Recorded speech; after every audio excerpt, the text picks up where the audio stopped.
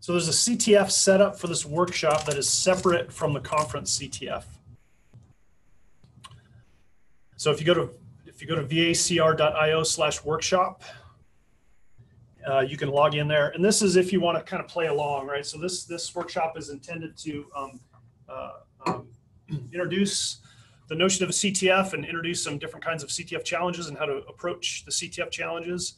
Uh, we'll cover some some pretty um, kind of be, beginner level stuff, and and we will get into some, you know, maybe some more intermediate things along the way. Um, so um, so if you've done a CTF before, um, you, you hopefully should still get something out of this session. Um, if you've never done a CTF before, then this should be great. It, it's really meant to to get folks um, into try at least trying out a CTF. Um, so if you again, if you want to play along, then you can go to vacr.io slash workshop, and you should see the um, the, the, the uh, labeled number one here in the upper right hand corner, the CTF workshop screen. You click start, and then you can log in using an OpenID provider. Um, Google is, is usually works the best, but you can also use Facebook or Azure. And then um, once you get logged in with your OpenID provider, you'll see a, sort of a blank screen and it'll, it'll give you the option to play solo. And um, so the way that the Cloud CTF platform works, you can play by yourself or you can play in teams and the administrator can, can change that, uh, um, sort of make it so you can, so you can set up teams or not. And I have this one set up to not have team play because I think folks are probably remote and, and maybe just working through things on your own is a, is a great way to approach this. But um, I'm going to show you later on as we get towards the end here. I'm going to I'm going to show off some of the sort of back end, some of the administrative features of the Cloud CTF platform, and um, when I do that, I'll show you how to make those different configuration uh, changes. Uh, there's also a, uh, a, a cyber range um, environment available. And so if you go to vacr.io slash range, and then uh, click on the um, I have an invitation code button and um, put in this invitation code. I probably could have automated that whole thing, only I didn't I didn't think of that. But um, but you can put in this invitation code and um, and then you log in through uh, an OpenID provider again, uh, and um, you'll get access to a, a, virtual environment in the Virginia Cyber Range that you can use to, uh, to, to work on challenges if you want to do that. That that piece of it is a little bit more optional even than the than logging into the CTF. We're going to go through. Um, you know, we're gonna we're gonna go through some challenges, and uh, you know, you can you can solve these using uh, Linux or Windows. A lot of them you can solve them using Linux or Windows. Um, uh, so um, you know, I would I would say that you know if you want to use a Linux system for some of this, you can. If you don't if you don't want to go down that road, then then uh, you don't need to do that. Um, hey Dave, hey Dave, this is Ellen. I hate to interrupt. I can't yeah. do the chat, but is everybody able to get into that CTF? Because I'm getting a you cannot create a user, you cannot create a player error repeatedly. Um, is anybody else having that trouble? Let me look at it.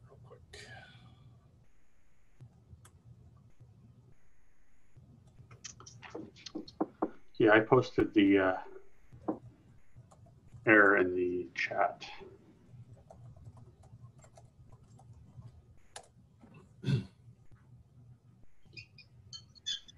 Yeah, this is Mike Onda. I didn't have an error, but I think it's because I had to create an account from scratch because I don't have my uh, original Cyber Range account. I wonder if that's where the issue is when you're um, trying to you know do your login. If you already got an account, it doesn't let you. That, that shouldn't matter, actually. Let me look to make sure I don't have it configured improperly. I could have screwed it up. I, have been trying to do um, three or four things at once over the weekend. So I'm going to take a look here.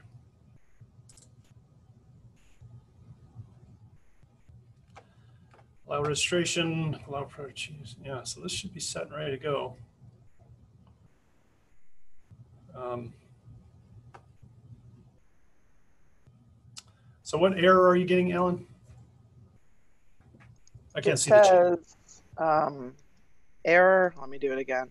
It, it clicks to, I click on my um, Gmail account and then it spins and spins. I'm doing it again. Loading, loading.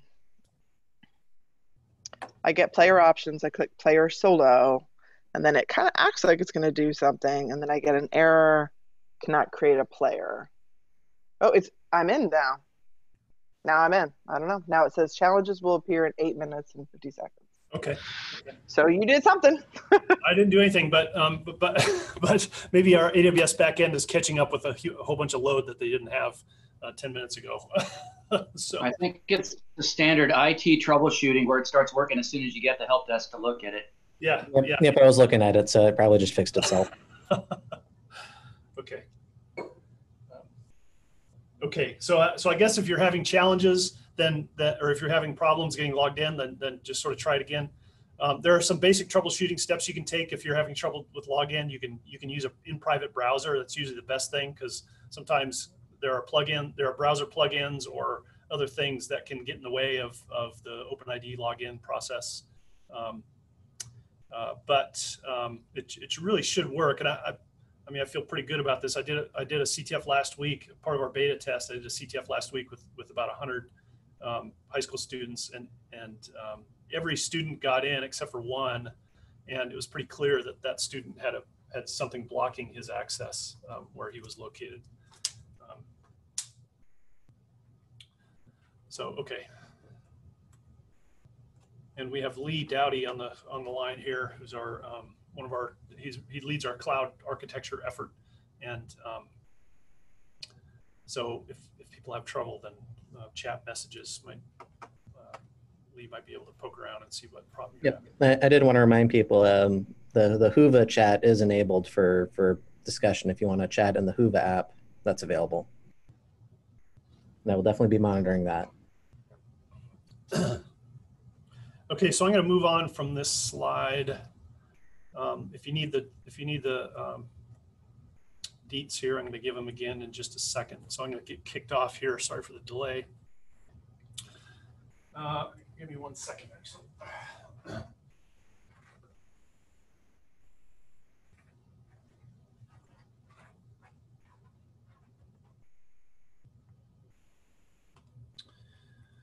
Okay, so we're going to start out with um, with basically you know some some intro, getting things set up, so some prep, um, and and we've kind of been doing that right now, getting logged into the CTF. And if you want to get logged into a CyberRange account, then you can do that. If you already obviously if you're already a Virginia CyberRange user, then just use use a course that you've already got. We and we can we can um, you know you can jump into uh, a Kali Linux VM and and use that, so you don't have to necessarily use my course. I, I just provisioned a, a um, I just provisioned a basic um, uh, Kali Linux virtual machine that you can use if you want to use it, if you don't already have, already have access to one.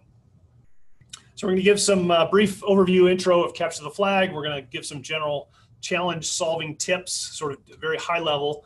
And then we're going to go category by category through the sort of the most, most common categories. And we're going to talk about how to approach these different kinds of challenges and what kinds of things you'll see. Um, and then we'll talk about hosting your own CTF. So I'll point you to a bunch of resources that you can use to host your own. And then um, I'll talk a little bit about some of the features of the Cloud CTF platform from the Virginia Cyber Range. And um, you know, this is intended to be workshoppy and not necessarily, uh, um, you know, me just talking for for um, you know two and a half hours. So please uh, uh, stop me along the way and chime in, ask questions. Um, I'm I'm happy to sort of take things down a different path for a few minutes here and there if that would be helpful to people. Uh, and we'll also um, we'll also uh, take a take a, a breather here and there so that we can um, not stare at a computer screen for two and a half hours straight. So most of the approaches I'm going to demonstrate will use um, we'll use Linux. I don't know, maybe not most of them. A lot of the a lot of the approaches that I'm going to demonstrate are going to use Linux. Um, you can use Windows too for a lot of these, um, and and I'll talk about equivalent approaches um, where that makes sense. Um, you know, lots of the software we're going to look at uh, is available either in Linux or Windows. For example, Wireshark. If you're going to do networking challenges, Wireshark is the tool of choice uh, for most of these, and that's a tool that's available for any platform, uh, Windows, Linux, or, or Mac, and it's a free piece of software. Um, the only things that you really have to use Linux for are um, we're going to look at some uh, uh, reverse engineering challenges, and we're not going to we're not going to delve deeply into reverse engineering because that, that's like you know we, we could teach a whole course on that.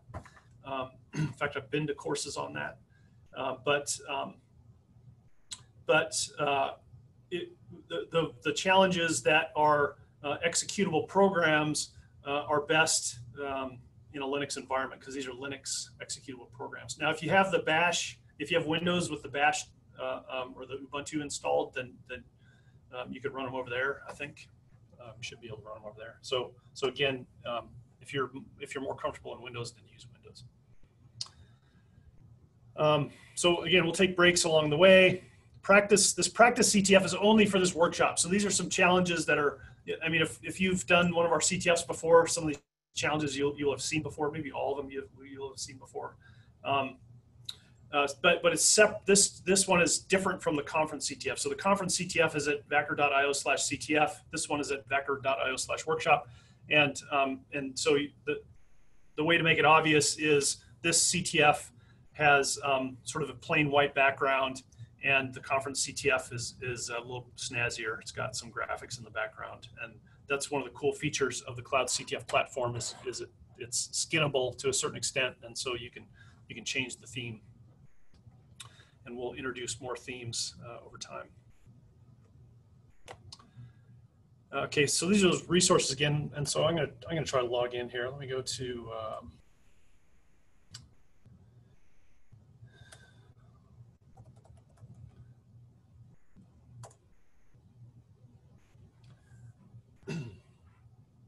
So I'm going to create account. I'm going to create a player account. So I obviously have a admin account in this CTF, but I'm going to create a player account.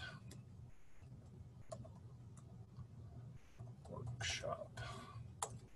I'll just walk through this plot process. So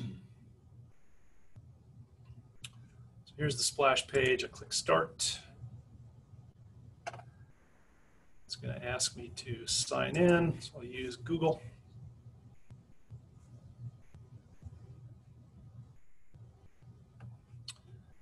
and pick one of my handful of credentials.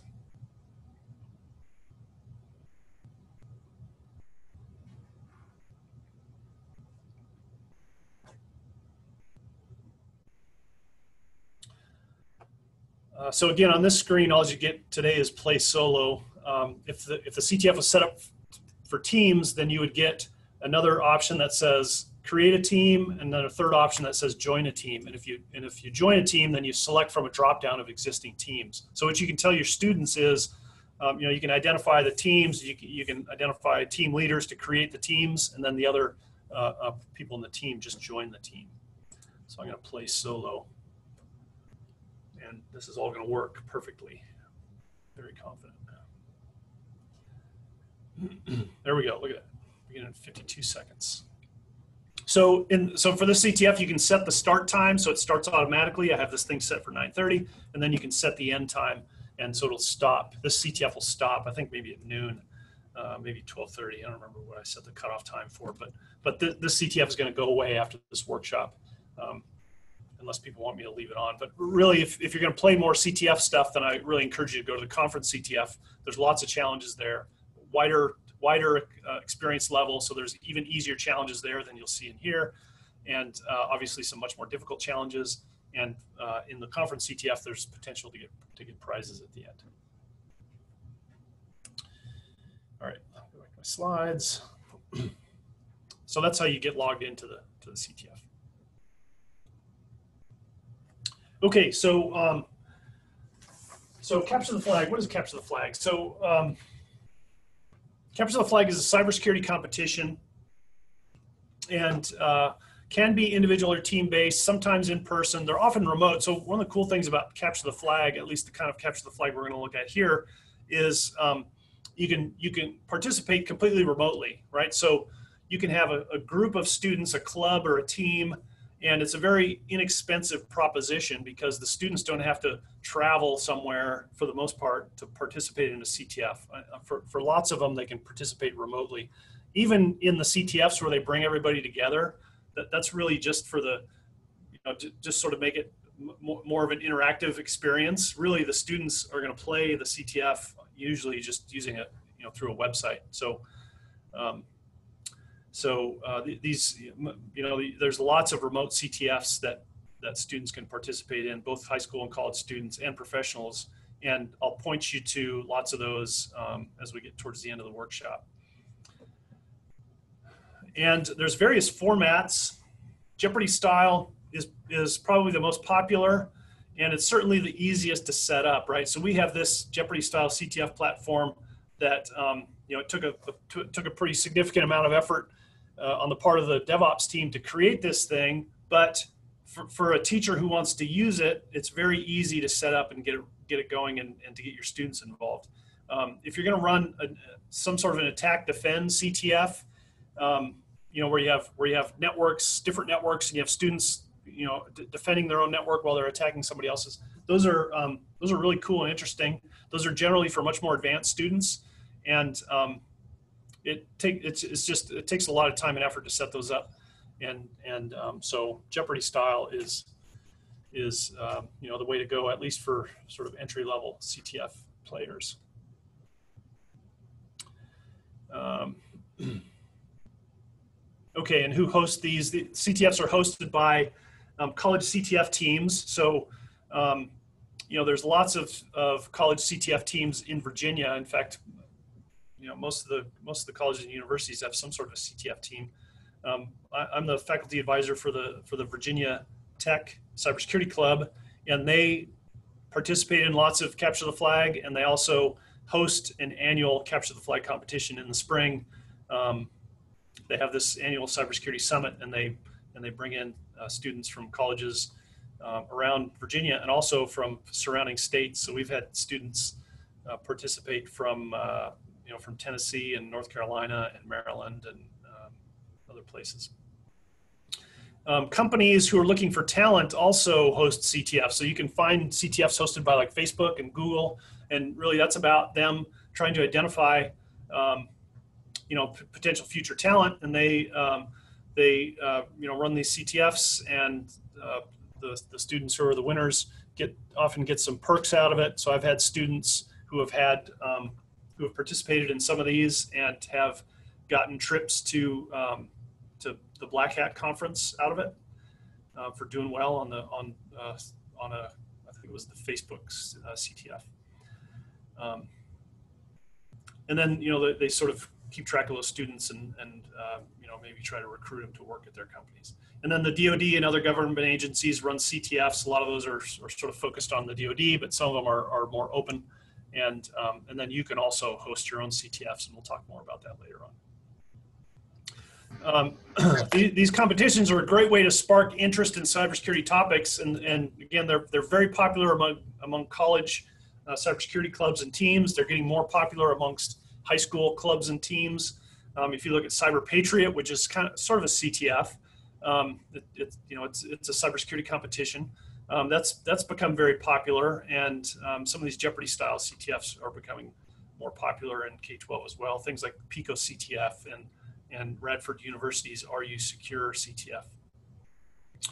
A, a CTF is really intended to um, to um, uh, get students to teach themselves things, and you know it's all about you know it's it's really intended to be a learning process, right? So so so somebody who creates a, a well-designed CTF, first of all, it caters it'll cater to a wide range of ability levels. So you have very beginner players, oftentimes up through players who've been doing this for four years and they're sort of the, the expert on their CTF team. And, and so, you, you know, you, you want to have challenges that will cater to that whole group of people. You want newbies to have some success and get some points and, and know, sort of be pleased with themselves for, for doing that. And then you want the more experienced players to, um, to have to work to, to solve some challenges, right? If they're not learning something new, then I, I think the CTF is not very, not very um, effective or well designed they really are intended to encourage independent learning. So, you, so that, uh, as I mentioned, we want the students to learn new things along the way, and then um, that we want them to exercise some real world skills. So, you know, you, you the, the, the things that they should be learning are things that they might apply later later on as a cybersecurity person. So, you know, if you, if you have networking challenges where they have to dig into packet captures and, and use Wireshark to identify, um, you know, different ports and protocols and IP addresses and, and et cetera. Um, you know, th- those are all skills that help them understand more about networks and how networks function. Um, I, I, I had a, a CTF team uh, um, at West Point, New York. I created their competition team there several years ago, and we we um, participated in, in an annual CTF called the, the uh, Cybersecurity Awareness Week CTF hosted by NYU Poly. And the way that, so that's one of the biggest collegiate CTFs um, in the country. It's, it's, you know, yeah, yeah, there are hundreds of colleges and universities that participated in that CTF. And there's a, there's a qualification round usually in September. Then they have a final round in uh, November. And the, um, the top 10 qualifiers um, are invited to the final round and they get an expense paid trip to to Brooklyn to NYU Poly and they participate in the in the live uh, final round and um, the, the West Point team uh, went to that final round um, again this was five or six years ago and um, one of the challenges had had a um,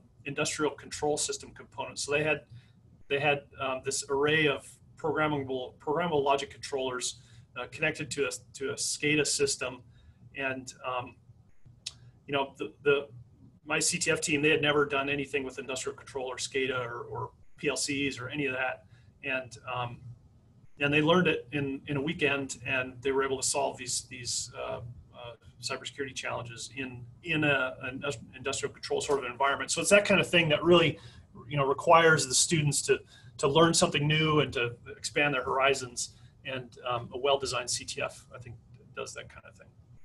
And then um, CTFs are used for a variety of purposes, right? Team team building events, skills assessment. You can use these in class. I know if, I know of educators who will have a CTF set up for their class, and um, you know they'll, they'll do like CTF Fridays, right? So they'll teach some concepts for a couple of weeks, and then they'll have a capture the flag uh, um, event, you know, in class on a Friday where, where they'll have questions around the things that were covered um, during that during that block. So that's a good way to, to use them, I think. Um, okay, so that's that's why CTFs are cool. This picture, I like this picture. This this um, let me go back up here. Sorry. This photograph is um, from last year's, um, so not 2020, but 2019 uh, um, Virginia uh, Virginia Tech Cybersecurity Summit and this is 130 college students from three states at about eight o'clock in the morning on a Saturday, all converged on an academic building at, on the Virginia Tech campus. And, um, and they're doing a thing that looks like schoolwork, but, but really they're participating in a CTF, right? So those, those guys in the front of the room are um, the, the, the president and the, and the vice president of the Virginia Tech Cybersecurity Club. And um, I don't know. I think it's cool to see this kind of energy where you have this this bunch of students who traveled, spent the night, you know, came on campus early in the morning to participate in the CTF for the entire day, and and um, you know, there's no big prizes involved. There's some tchotchkes that that some sponsors hand out, and there's some bragging rights that the winners get. But um, you know, these these students are just fired up about it, and they want to come and, and compete. So I'm a huge fan of CTFs. So this is. Um, just sort of a typical Jeopardy style CTF board. This is an old one from uh, um, NYU Poly back in 2012. Um, and I just put this up to, to you know, point out um, the, what's maybe already obvious what Jeopardy style means, right? So it's, a, it's challenges across different categories with various point values. And, um, and higher point values are generally more difficult challenges. That, that's kind of the, the standard uh, way that it works. so um, some, some, some common challenge types, just a quick overview here, and then we'll delve into each one of these. So trivia is, is fairly obvious. And trivia challenges might be labeled trivia or they might have some other name, right? So they, they might um, have a name that evokes some topic like Star Wars or sci-fi or, or whatever. Um, uh, but you know the, the, they're they're they're just sort of basic trivia, right? Um, cryptography, those are challenges related to different encodings or, or ciphers. Um, web challenges have to do with um, things hidden in web pages, or maybe you have some vulnerable web application or something something related to uh, the web. Um, reconnaissance challenges are a bit of a catch-all. So recon challenges are, are usually um, this situation where the, the, the participant has to sort of follow a trail of clues, you know, to, to, to get to the solution. And, you know, the, the, the low point value challenges will, will have a short trail and the, the higher point value challenges will have, have, you know, significantly uh, more, you know, number of steps that have to be completed. Um, networking challenges, um, uh, these, these are really intended to make students comfortable doing things like network protocol analysis or, or network traffic analysis. And um, so what you might have is captured network traffic, or you might have you might have live network traffic. So we've done some CTFs where we've had live network traffic, and the student has to, has to discover things in there. So those are those are challenges related to networking. Um, forensics challenges are um, related to digital forensics, right? So you might have some digital artifact like a like a hard drive image or a, or a mobile device image, and you have to you have to be able to dig into that artifact and, and find some sort of a flag. Uh, and then reverse engineering, or sometimes you'll hear this referred to as binary exploitation. Uh, the, this these are the like the high end, very difficult challenges, and um, this is this the, this is the, you know the, these kinds of challenges are things that you'll see more in like a collegiate capture the flag competition. Um, you know, th these are students who have had maybe a computer science course, even like a computer organization course, um, and maybe even an assembly language programming course. Um, you know, to, to do well in reverse engineering challenges, you generally have to have um, more than an introductory, uh, um, you know, sense of computer science and, and computer engineering. We are going to take a look at some entry level reverse engineering challenges during this workshop, but um, but as you get into the to the intermediate ones and the more difficult ones, you really have to um, have, have a pretty good handle on things. Um, okay, so any questions on any that was all sort of introductory material. Any questions along the way? Any more trouble getting logged in to the CTF?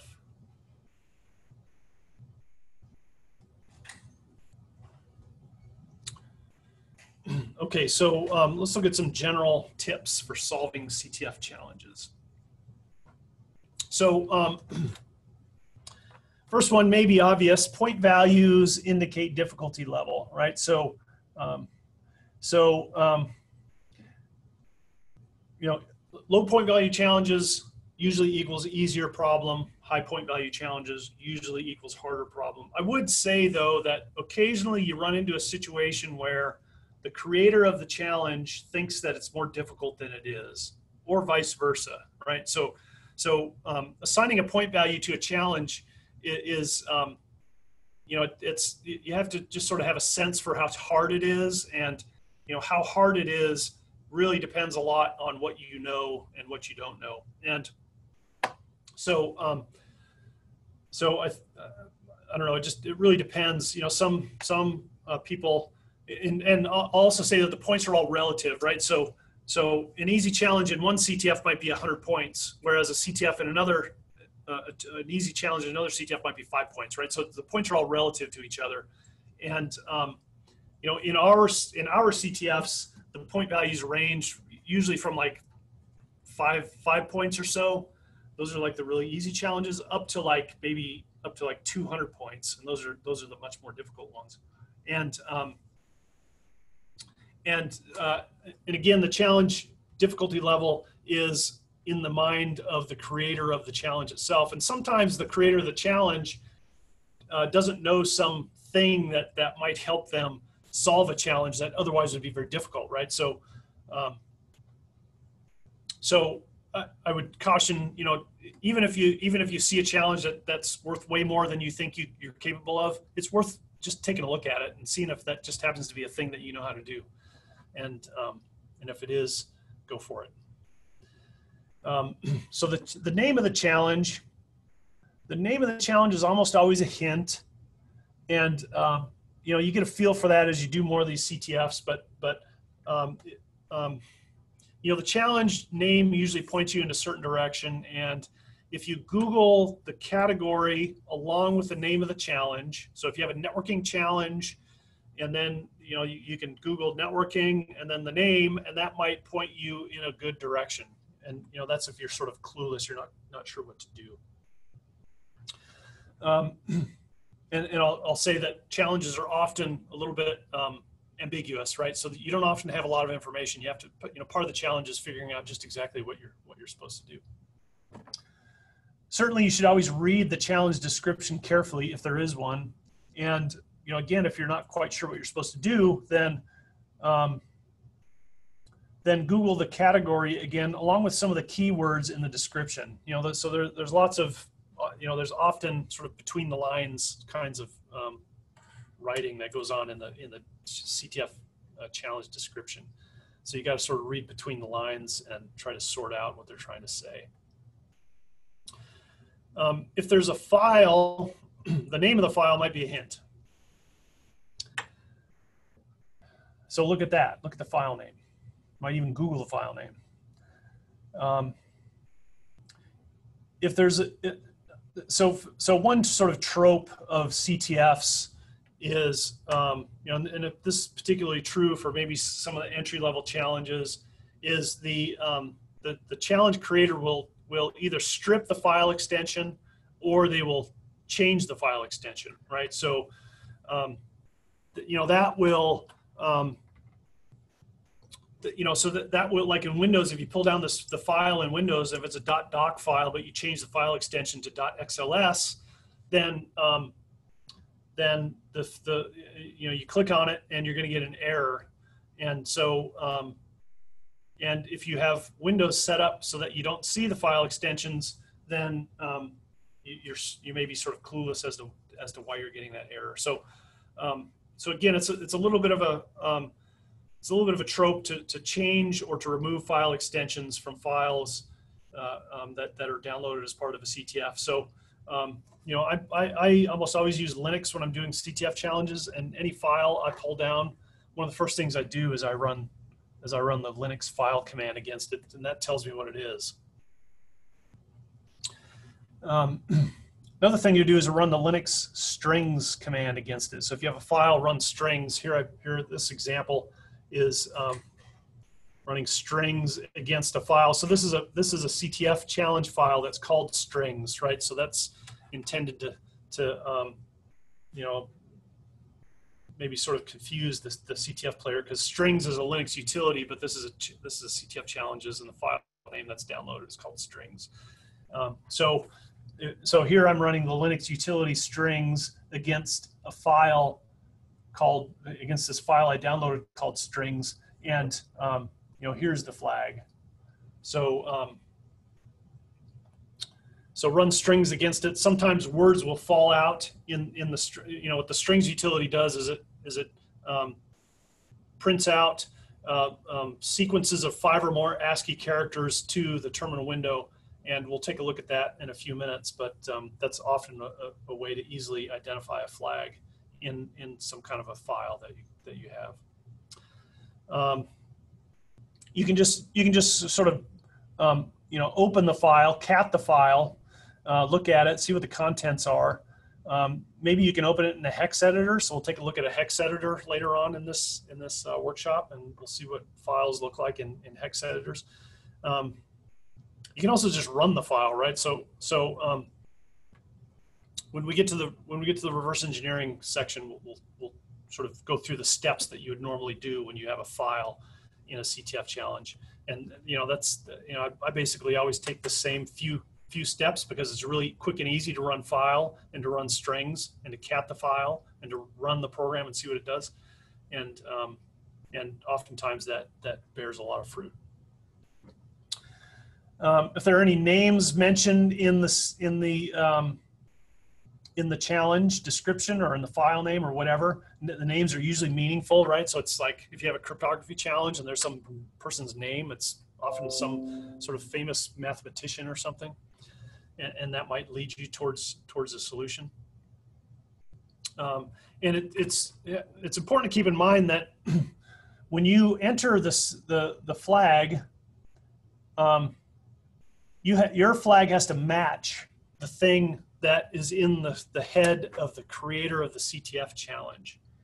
And, um, and if your, if you're um, the thing that you enter, if it doesn't match, then it's going to tell you that you're wrong. And really, you may be you may either have the right answer or you may be on the right path, but um, but the, uh, the the CTF system is telling you you're wrong, and it could just be because your capitalization is is different than the person who created the challenge, right? So maybe they capitalized the first and last name, put a space in the middle, maybe they didn't, and so that's causing you problems. Now, if you if you do if you're if if you're an experienced creator of CTF challenges, then there are ways you can you know you can like our system allows you to use these things called regular expressions that that sort of match all kinds of different entries that are close to the same thing and um, and I, I'm going to show you that later on when we get into the to the back end of this of the cloud CTF system.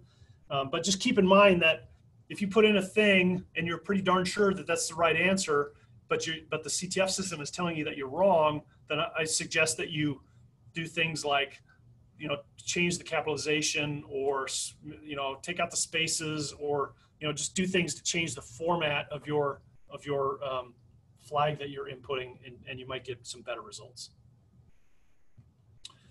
Um, okay, so that this that's th- those are high level tips on uh, how to approach CTF challenges. These are useful for any just about any challenge. Um, I should mention that these slides are uploaded to Whova, and um, so you should have access to these slides. Um, and there there's a PDF that I guess it's it's um, hopefully it's right along with the session, um, but you can download these and, and um, play along. Or download them after the fact. okay, so, um, oh, this session is also being recorded, so you can watch it later. You can fast forward to the dry parts. Okay, so, um, so we'll get into some specific types of challenges and trivia. I'm just going to go through very quickly. I'm not going to do any um, I don't think I put any trivia challenges in this workshop CTF. I just want to cover this very quickly. Um, trivia challenges can encompass a variety of different um, category names, right? So it might be you, you might have a category name called trivia, or you might have a category name that is that is something else. You know, that's not sort of one of the standard categories, and, and often that's that's trivia. Uh, um, that's trivia challenges.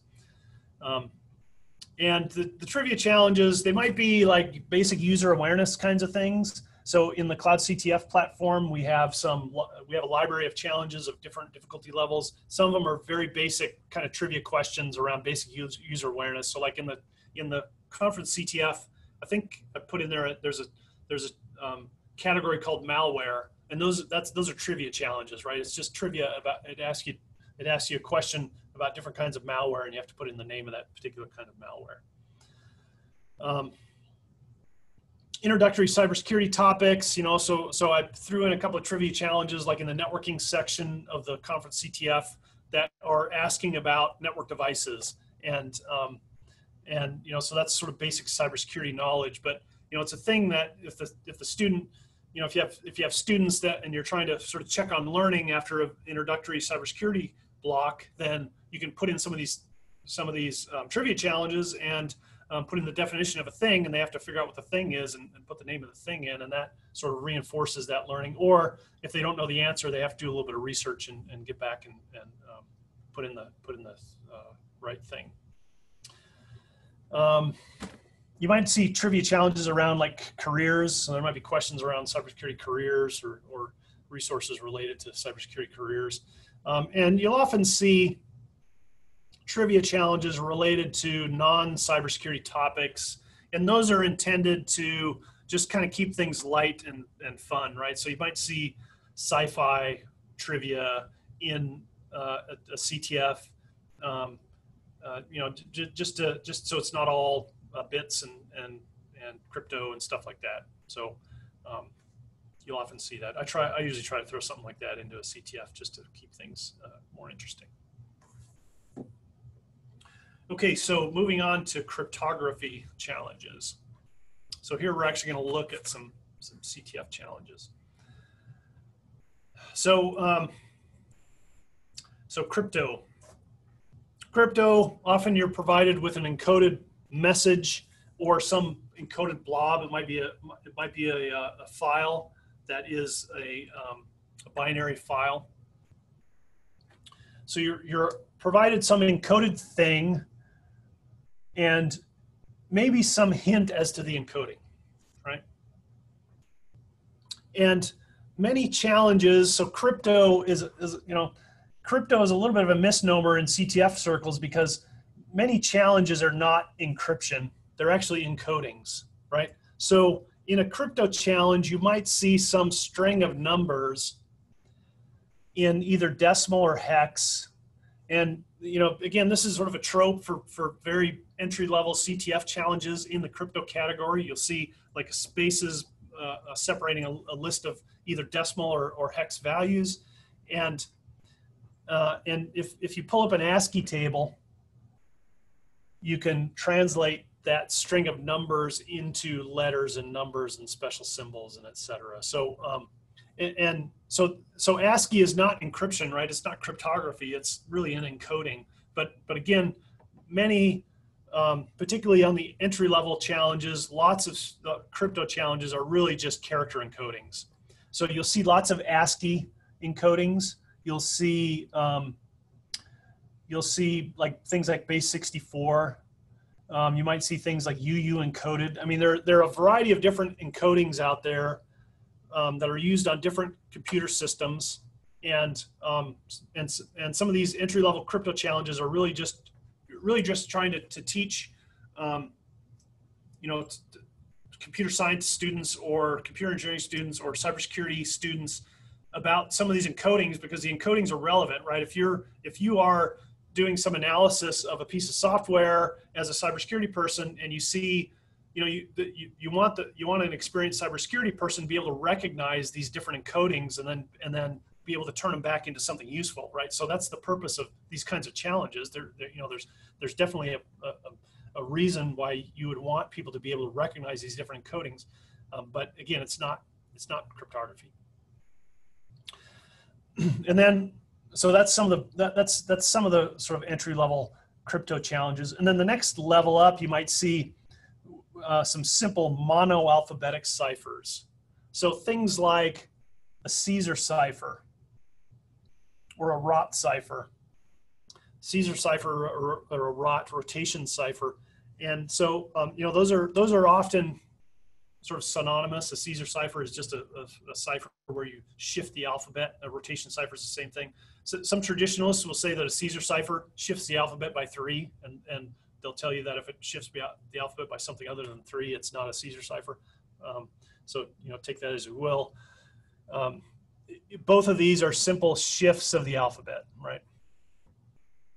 And then the next level up from a from a shift cipher like this is a substitution cipher. so a substitution cipher is different because it's not just a shift of the alphabet, but you might see um, just scrambled letters, right? So you might have you might have um, you know A replace B and T replace Q, and and it's not just sort of shifted one to the left or right. It's um, it's uh, scrambled. You know, the, the, letters are scrambled, but it's still a one for one. So a monoalphabetic cipher is still a one for one replacement. And, and a good example I use of a monoalphabetic cipher is like um, in in a um, in in the newspaper. There is, um, at least in my newspaper, so I get the Roanoke Times, and on the crossword puzzle page, there's also a crypto quote, which is a monoalphabetic cipher, right? And it's not a Caesar cipher. It's not just a shift. It's a sub. It's a it's a substitution cipher where the, the letters are sort of scrambled. And um, the thing about the the thing about those crypto quotes is they generally um, they generally provide um, punctuation and spacing. And so if you have a, a, substitution cipher where you have punctuation and spacing, then you know they're, they're much easier, right? Because you can you can look at um, you can look at the, the individual letters and if you have a letter all by itself that's you know a, a word with one letter then it's going to be either an a or an i and usually the context is easy to identify which one of those it is and then when you have two letter words then there again there's a sort of a, a short list um, if you have a three letter word it's almost always a the or an and and if you see the same three letter word multiple times then then that is almost definitely a, a, a the or an and um, so um, so um, those kinds of ciphers where you have the spacing and the punctuation uh, makes them easy to solve. And then if they if they don't have that, so sometimes you'll have a you'll have a substitution cipher where things are just you know letters are all sort of squished together, um, or they're or they're provided in like groups of, of characters. And for those kinds of challenges, you can often do just a simple frequency analysis, right? So you can so, so you know frequency analysis. So we know, for example, that um, you know in in the English language.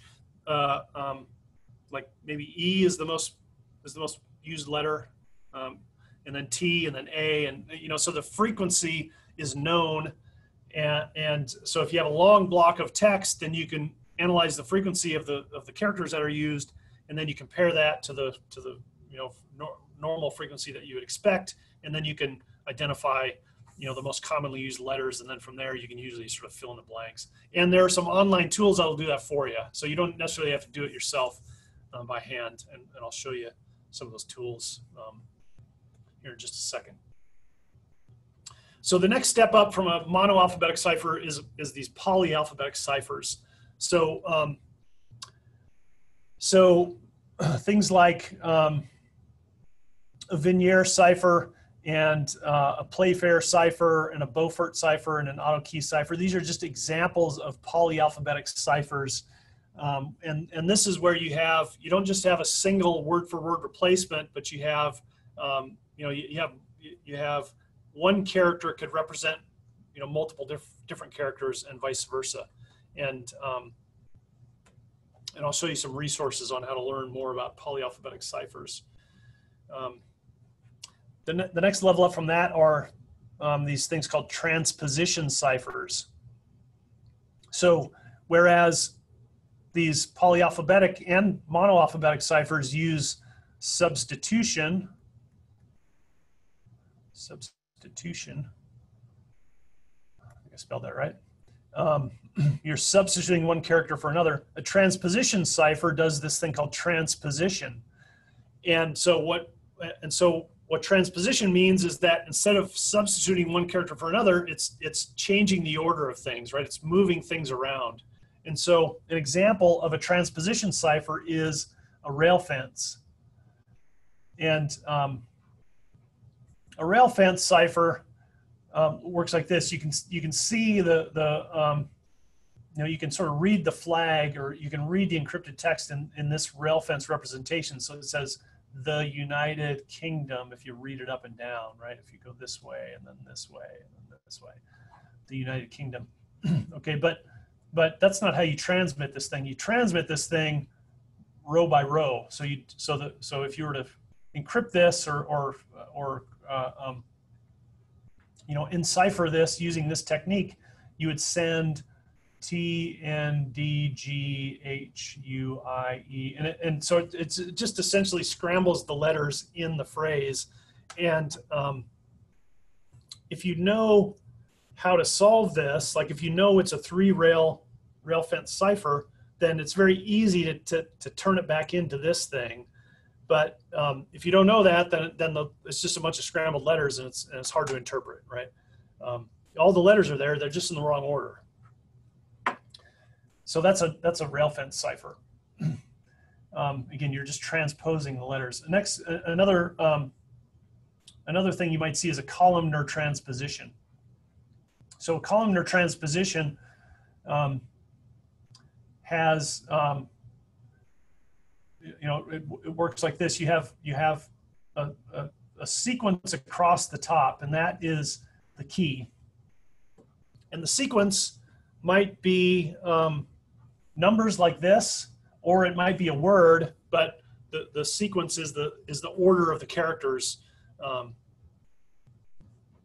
uh, you know in the alphabet so you get some sequencing either way you get some sequencing of the columns and then you, here's our here's our uh, text that's going to be that's going to be encoded a midsummer night's dream right if you just read it across but um, with this columnar transposition basically you you shuffle the columns so, so you reorder this thing so you have column one two three four five six seven and then that that scrambles up the the, the phrase and then you read it across and you get some some you know, output that is again scrambled letters. So that's that's transposition. And then um, the more sophisticated uh, t- uh, encoding techniques, they combine. They they might do like multiple columnar transpositions. So here's an example where you have some data coming in, and then you have a first secret keyword that's going to do a columnar transposition. And then you have a second secret keyword. So you do back to back, and that scrambles the content even more. And actually, um, modern uh, um, encryption techniques that are used on computer systems use this combination of substitution and transposition.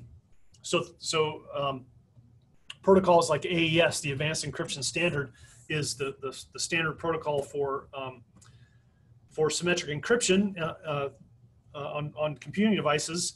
And um, it uses this sequence of substitution and transposition to, um, to encrypt uh, data. And instead of doing that on the character by character level, like you see here, um, AES does it on the bit by bit level, right? So you're, you're, you're swapping out bits or you're moving bits around.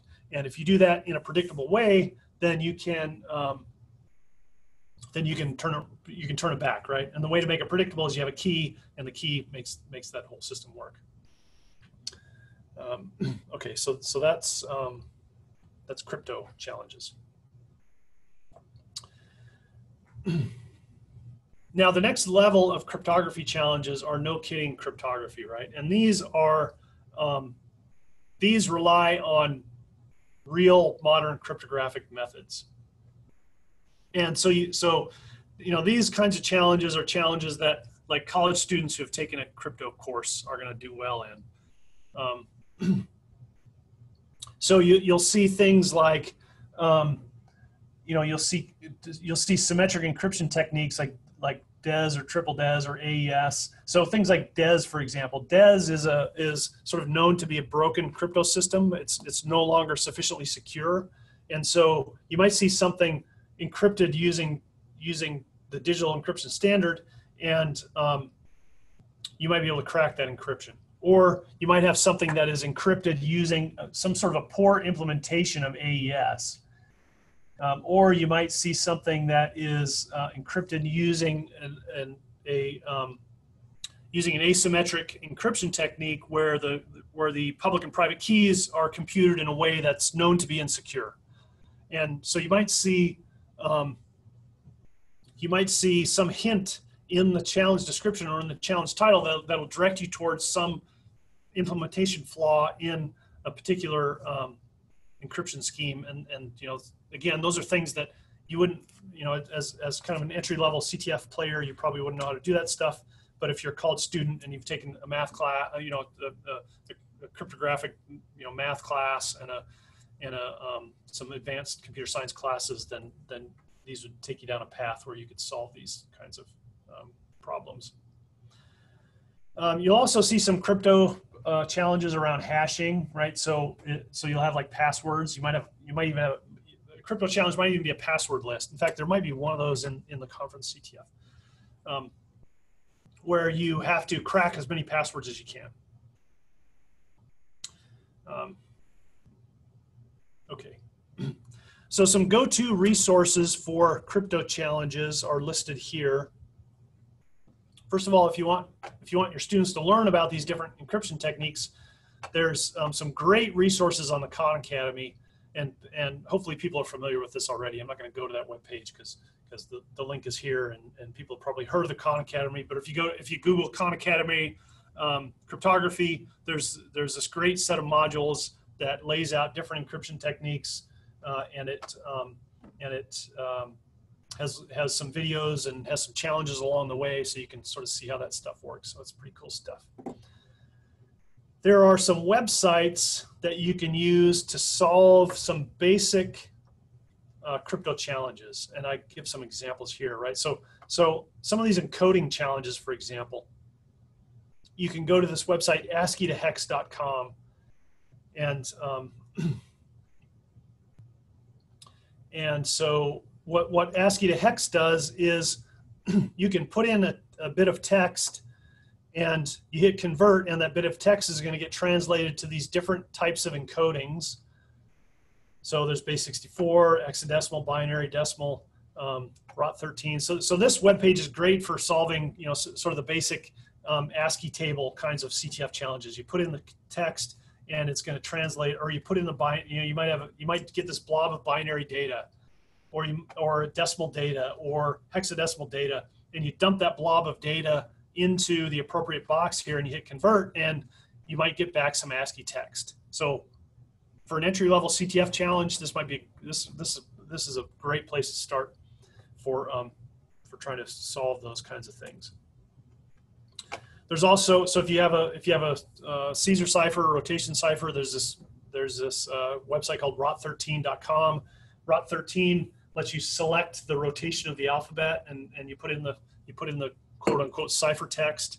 You select the rotation and it'll give you what what comes out on the other end. And the idea is you sort of do that until you see words that that make sense that might be a flag. Um, there's there's this Boxentriq Boxentriq um, uh, website for for code breaking. There's um, this is a great this is another great resource. Dcode.fr www.dcode.fr. This is my go-to website for any kind of um, you know sort of monoalphabetic or polyalphabetic cipher. And um, thank goodness it's translating into English for me. So this is this is a, a French website, but it, it's got um, it's got um, solvers for lots of different kinds of again monoalphabetic, polyalphabetic uh, encodings, um, and so really cool website. In fact, I'm going to use this in a minute because I'm going to go to um, I'm going to go to the CTF. So, for example. Um, for example, I can uh, click on a challenge here. So here's the challenge. Oh Caesar, my Caesar, and here's a here's a glob of text, right? And um, from the context, you can probably you can probably kind of sort out that this is a Caesar cipher, right? It's a simple shift cipher. But I want to turn that this glob of, of letters uh, into a flag that I can put in the, the flag section here. And so, um, so what I might do is I might copy that. You know, I, I don't want to do it by hand. You know, we don't we don't do that kind of stuff by hand anymore. Um, I might I might go here and paste it in to ASCII to hex. So there I just pasted in the blob and I'm going to click convert and I get some output. I get binary, decimal, base 64, hexadecimal, ROT13. I got nothing, I got nothing useful here, right? So let's see, maybe I'll paste it in a different box. Paste it in there, convert. Okay, still, this doesn't look useful, right? You know, I can't, it's, a, it's letters, so I can't paste it into any of these boxes. Um, and you'll notice that the, the URL encoded or the HTML, that's if it's a string, it's just going to be the same thing as the string. So, so this didn't get me very far. I know it's a Caesar cipher, so I'm going to go to dcode.fr and I'm going to type in Caesar. And um, uh, here's Caesar code, Caesar. Get this list of different potential uh, um, encryptions. Okay, and I'm to um, looks like I already did this. I'm, I'm gonna, so it, it says deciphering the Caesar code, message encrypted by Caesar code. So I'm gonna type, I'm gonna put in my thing, right? So I just pasted it in there. And this tool has different um, options for, for different, um, different types of ciphers, right? So this, in the Caesar cipher one, I can, if I know the offset, then um, I can, uh, I can put in the offset here. If I if I don't know, I can just click the button that says test all possible offsets using a brute force attack, and then I hit decipher. Um, you can also change the alphabet. This is interesting. Um, you can change the so you can add things like accented characters, for example, and um, uh, so yeah, so changing the alphabet is is sometimes helpful. In fact, I had a CTF one time where um, I was doing a CTF with my with my uh, daughter who's a, a high school kid. She, we had a thing that was obviously a, a it was obviously a um, monoalphabetic substitution, but we just couldn't get quite to the to the to the answer. And she said, I think that's French. And so she put in like some extra characters in here, and um, lo and behold, um, she's able to solve it by putting in um, like accented characters and that kind of stuff. Anyway, I'm going to hit the decipher button. And what I get over on the left-hand side, I can't imagine that it's taking this long. It just wants me to show me some more ads. Um, okay, so what I get over here is I get every possible um, shift, right? So I get, and it shows me the number of the shift. But what this does is it it puts them in um, in order of what it thinks are the most likely solutions. And um, so the one you see at the top here, this comes out as the most likely solution, and that's because it was able to find English words you know, I'm, I'm on the English version of this page. It was able to find English words in here. And so um, it uh, comes, you know, it, it, does the right thing, right? It gives me the right thing. Um, so if I were to copy this, and this, this, it, it, actually, for, for the other, even for like the polyalphabetic ciphers, this will try to do a brute force attack on it. And often it's very successful. It, it you know, it implements some basic algorithms for brute force attack on on um, on some of those uh, ciphers. Uh, okay, I'm gonna go back to my cloud CTF and I put this in. So this is how the CTF works, right? I put in the flag, I hit submit, and um, I got five points. All right, so now I'm on the board. Probably not ahead, so let me go to the scoreboard and see what people are doing. All right, so nobody's paying attention to me. They're just killing the CTF. Look at that. Nice. That's awesome. Very cool. Um, I don't know what the max. I don't know what the max is on this. Christy, probably. Christy, did you solve all the challenges already? 280 may be the best you can do on this thing. Last I heard, she had two left to solve, Dave. Okay. okay. all right. Let's see. All right. Go back to my slides here. Okay. So, um, so that is it for crypto challenges. Any questions on cryptography challenges?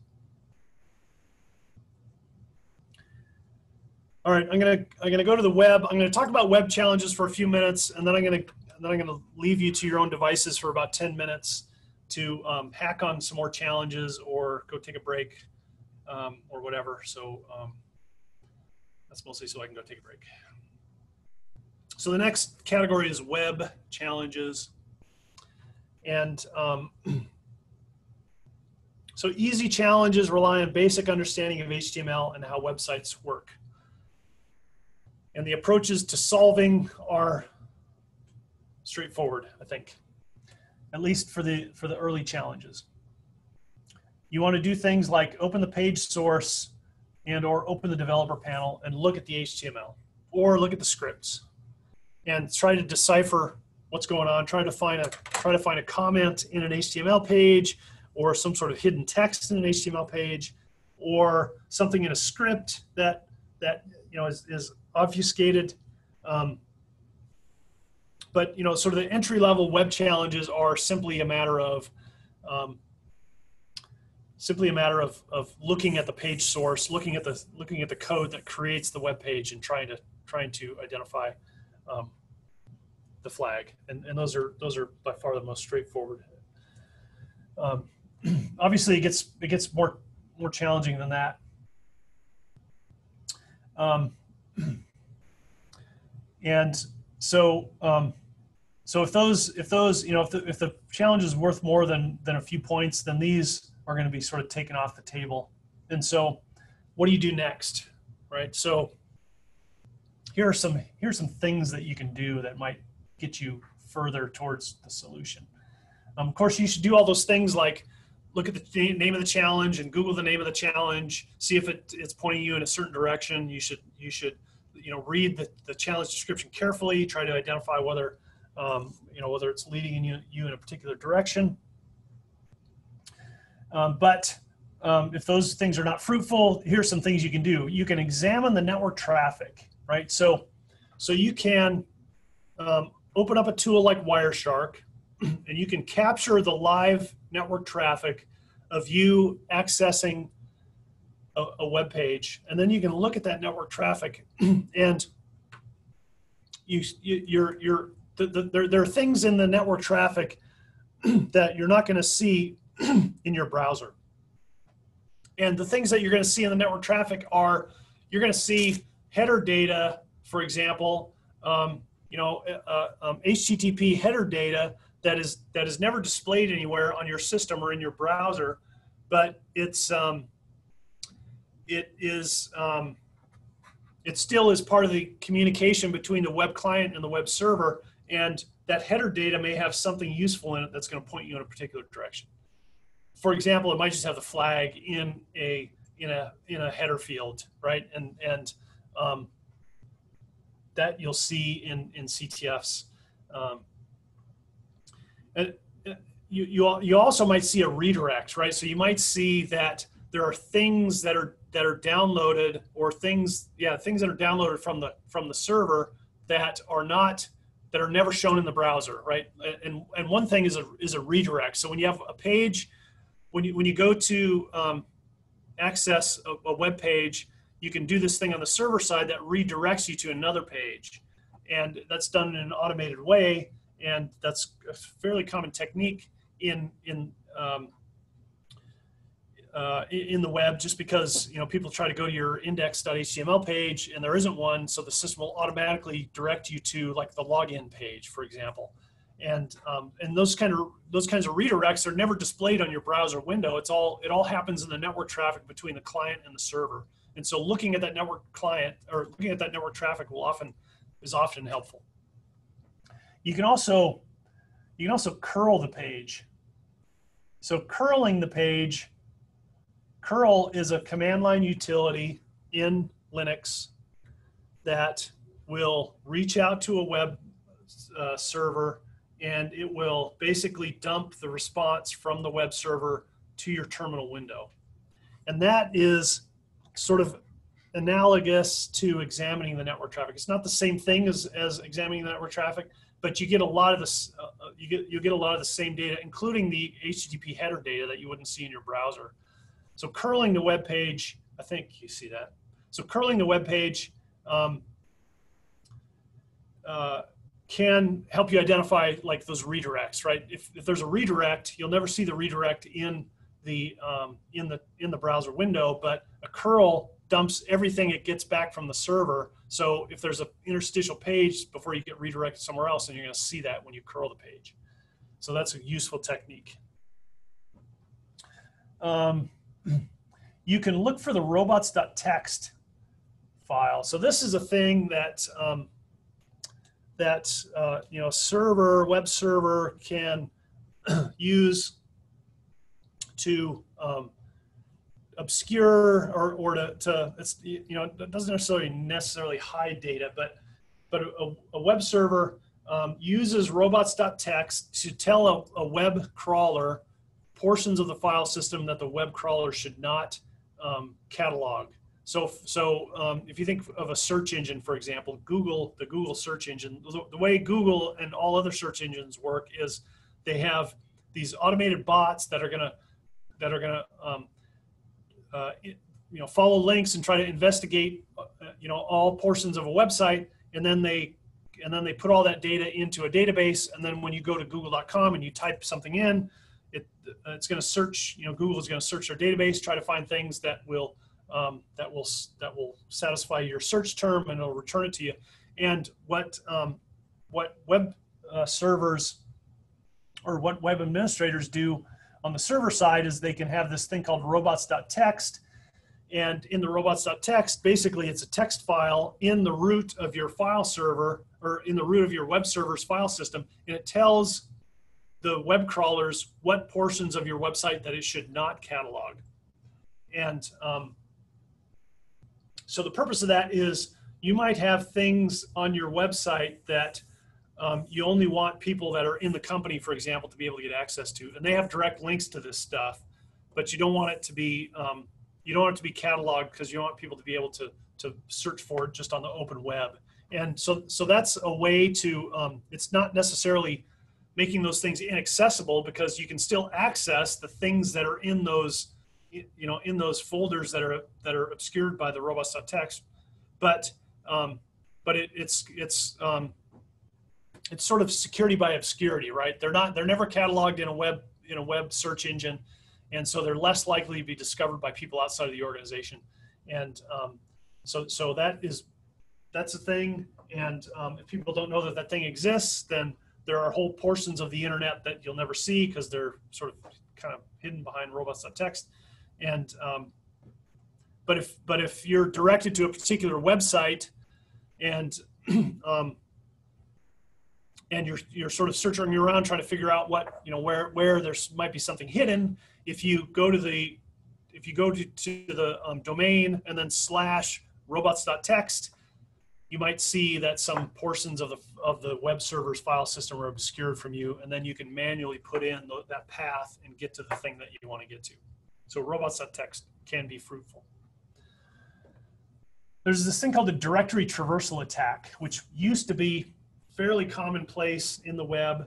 It's much less, um, uh, you know, you see you see much fewer of websites that that are that are improperly configured these days that allow this, but they're they're still out there, right? There are still there are still young people who are learning how to use, you know, HTML and learning how to configure a web server, and they stand up their own web server, and they have this thing that's vulnerable to a directory traversal attack. And this is where you can do something like, um, you know, you might you might have a you might be going to a website that is like um, uh, you know, www.example.com slash page.html, right?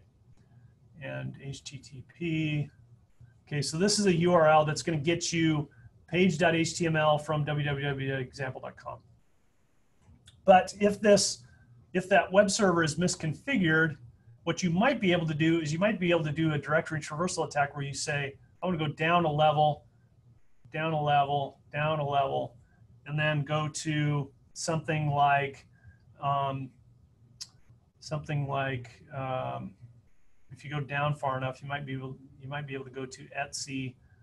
I mean, this is just kind of a silly example, but um, you might be able to dump Etsy password, right? If you're able to traverse down in the file system because the root of the web server is not the root of the file system. The root of the web server is some directory on the web server.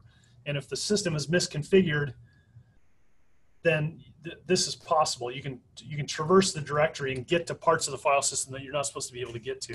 And um, yeah, Dave, you say that's a, a silly example, but that's a legitimate thing that actually happens to web servers on on the net. Yes, right. Yeah, right. I agree. That's the point I'm trying to make. Is and and the idea of of of exposing you to something like this is that now you know when I when I configure my web server, I better make damn sure that I don't allow this thing to happen, right? And that's you know there's a configuration setting where you can do that. Um, in fact, the default these days is configured not to do that in almost every case, but um, you know it's it's easy to fat finger your config and get it to do the wrong thing. um, okay, so those these this is kind of the the, the basic entry level web challenges kind of stuff. So um,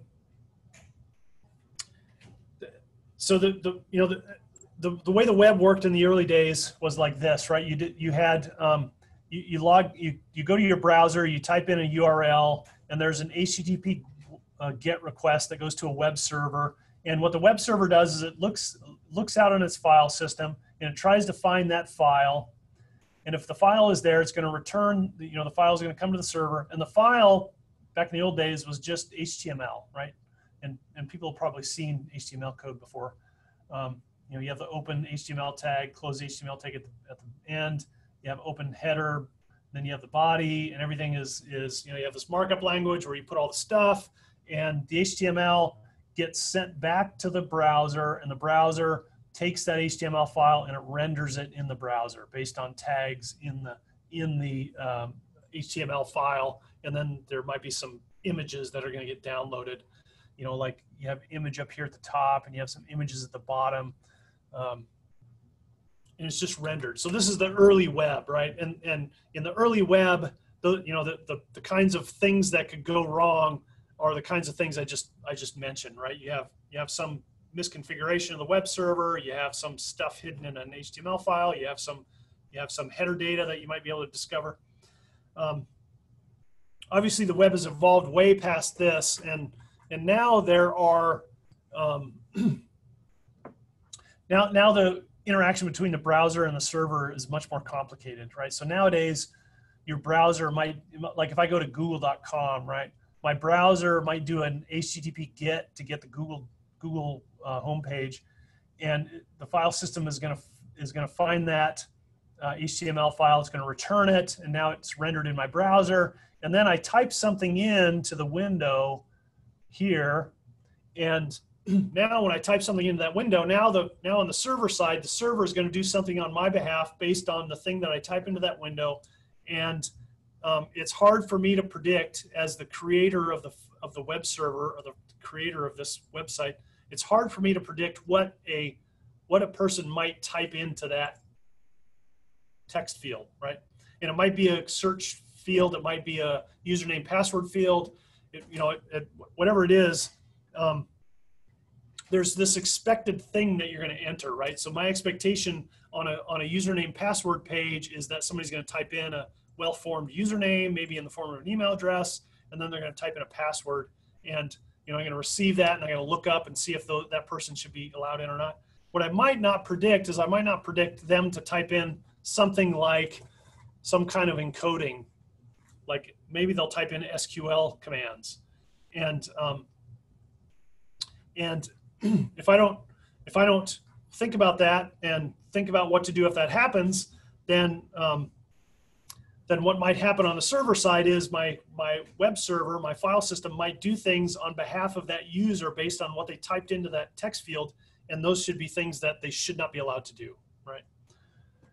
So what happens when somebody types in something to, to any form field on a web page is there's this post request that goes back to the server. The server is gonna is going to interpret that request and it's going to go to a database and it's going to like look up data and then it's going to return that data to the web server.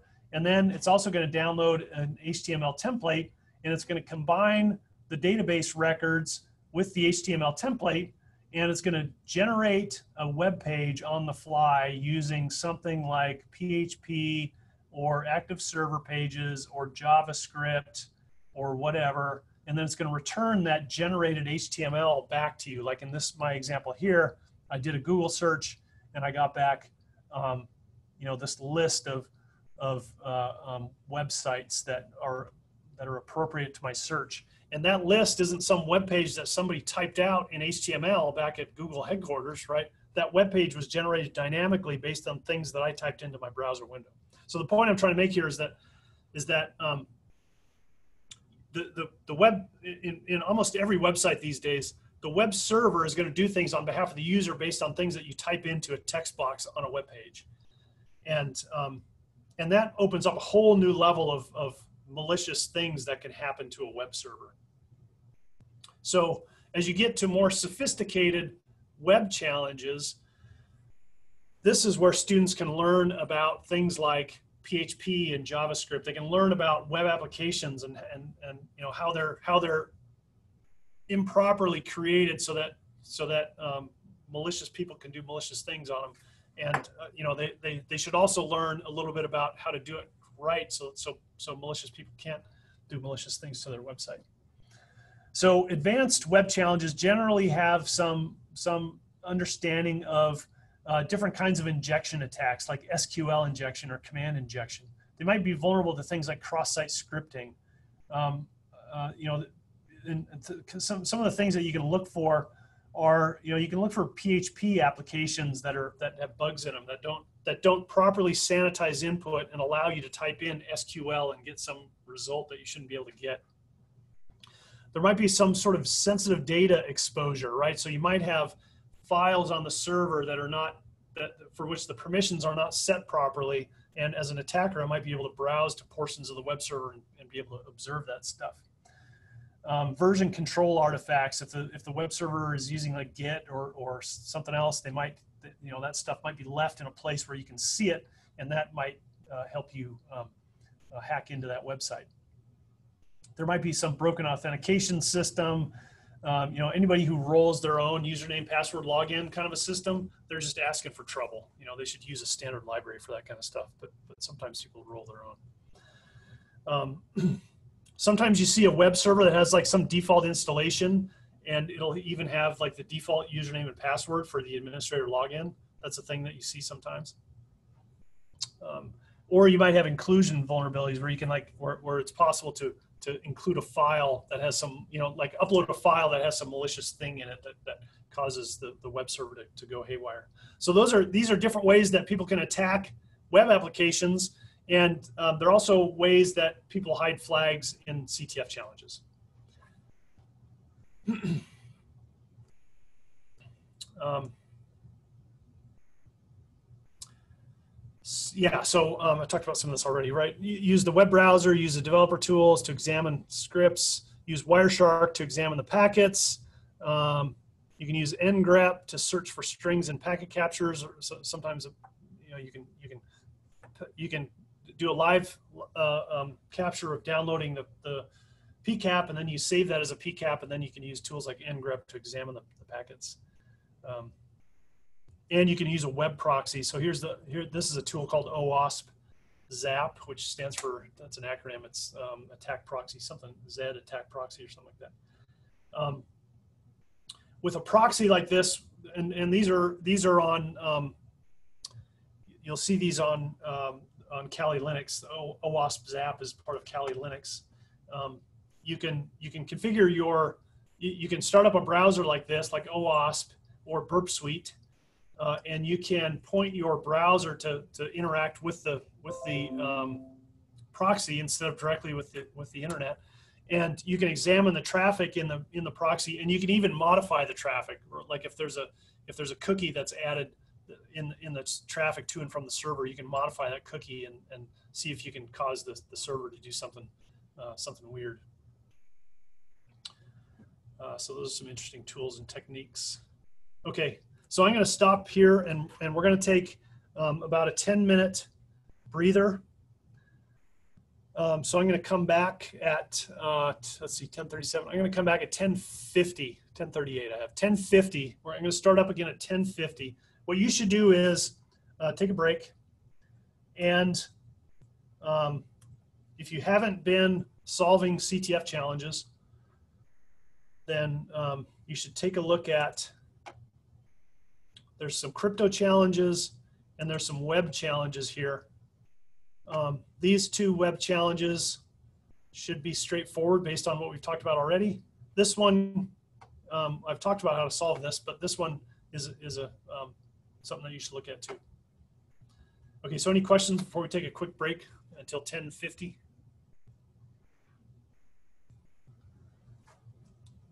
All right, great. Let's take a break and I'll be back online here in uh, a little over 10 minutes.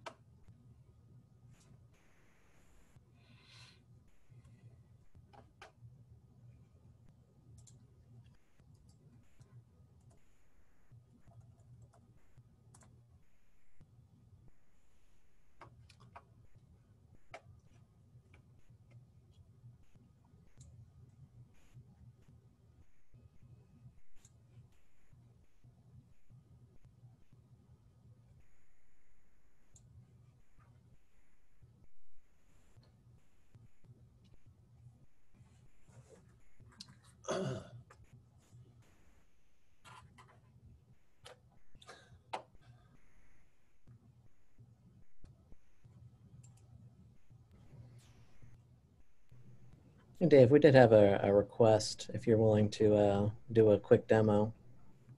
Yeah. Uh, can you show how to edit a challenge uh, and and how to add a hint to a challenge? Yeah, I'm going to show, I plan to show all that like towards the end. Okay, Uh, that sounds great. I'm going to, yeah, I plan to do all that.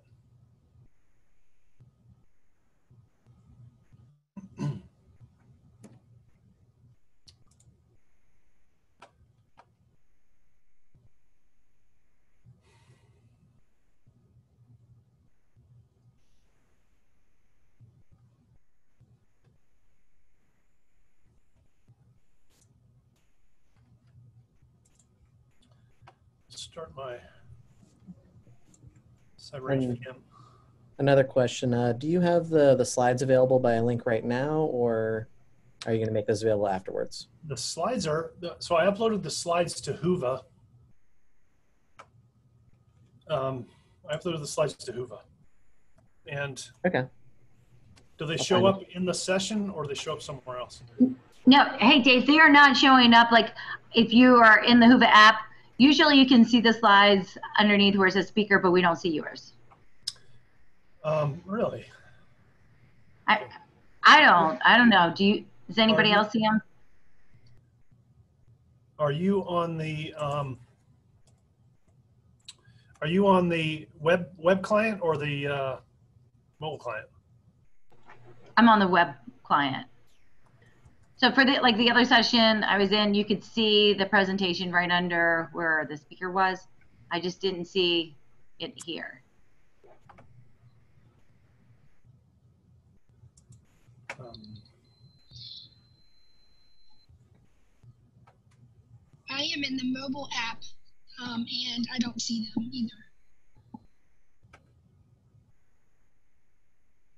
That's frustrating.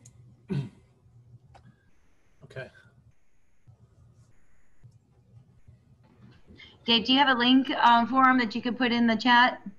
I don't, uh, I, no, I, I, uh, trying to find them on Whova here. I uploaded them to Whova last night and, um,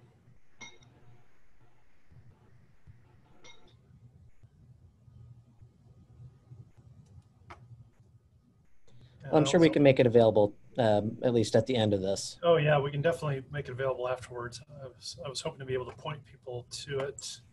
Um, And then Dave, you- you're going to walk through those three um, web challenges, right? Sure, yeah, I can do that. Okay. um, okay, so I'm in, I'm jumping into cyber range and, uh, okay, so, um, so,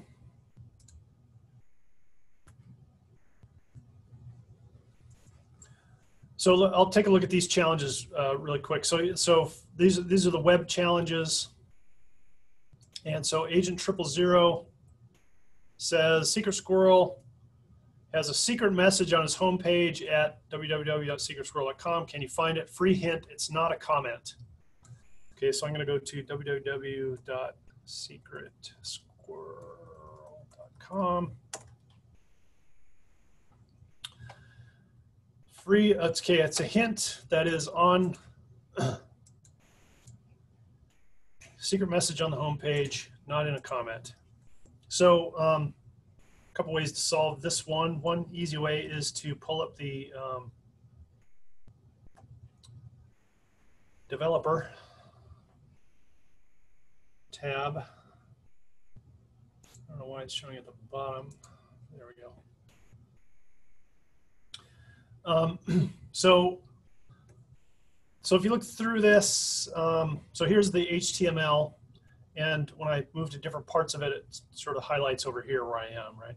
And there is a there are a couple of hints in this in this page, and it's highlighting the hints, right? So here's a hint up at the top, and then it's uh, and then down here there's a thing that says secret message after the slash body tag, and then says squiddly diddly. So there's a here's this is a fairly obvious flag, right? Um, but that that this is not the flag for this challenge, and um, it's this is a hint. Or, I mean, this is a this is a, a comment, right? So here's a here's a uh, uh, left bracket, exclamation point, dash, dash, and anything between those two things in HTML is a comment. So, um, so you have to sort of, you have to sort of know what a comment is in HTML to know that this is not the answer. So then, um, so now I don't, I don't see it, right? So, but I can, if I, if I expand this thing out a little bit, I can see more of the HTML content. And um, I'm just expanding out the different sections of this thing. And by doing that, I see more of the, of the, of the content of the page.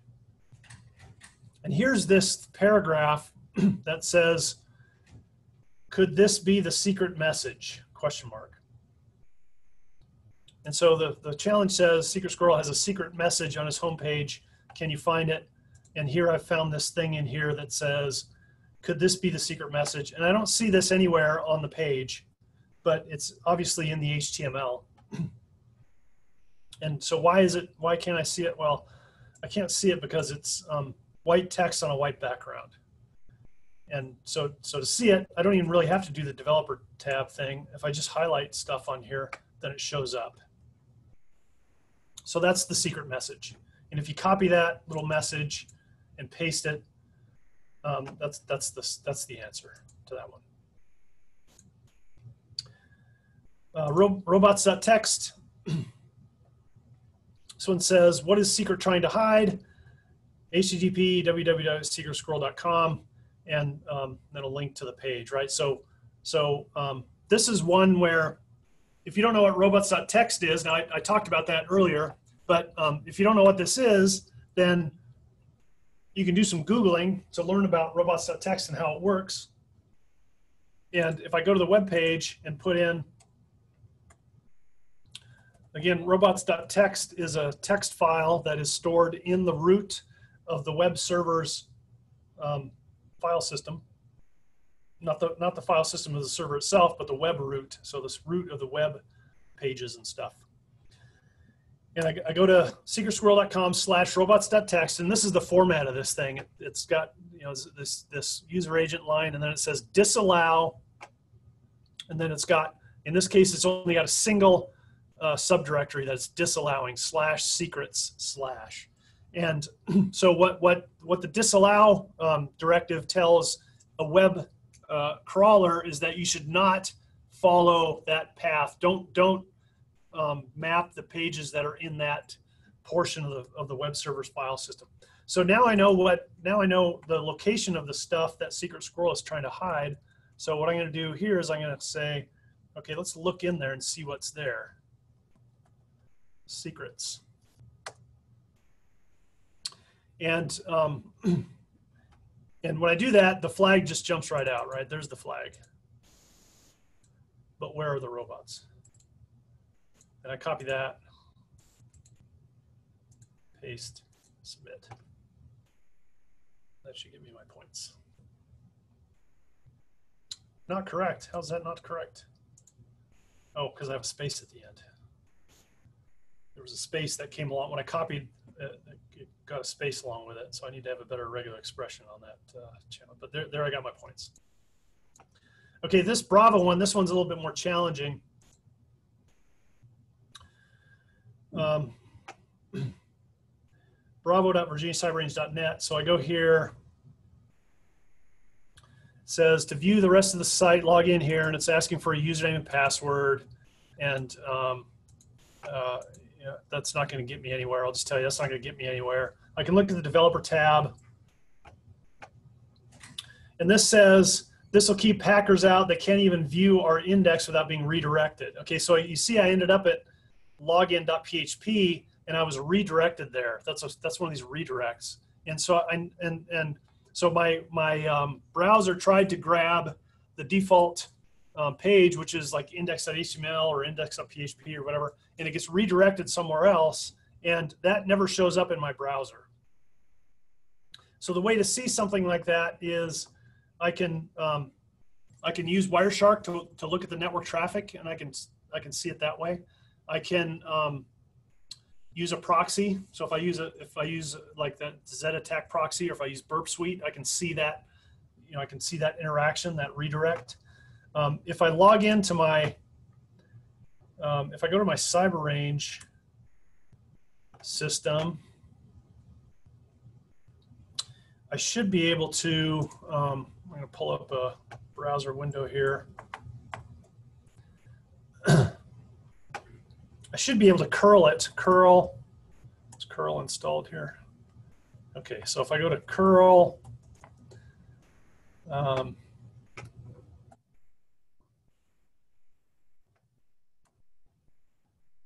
HTTP bravo.virginiacyberrange.net. I'm going to curl HTTP bravo.virginiacyberrange.net.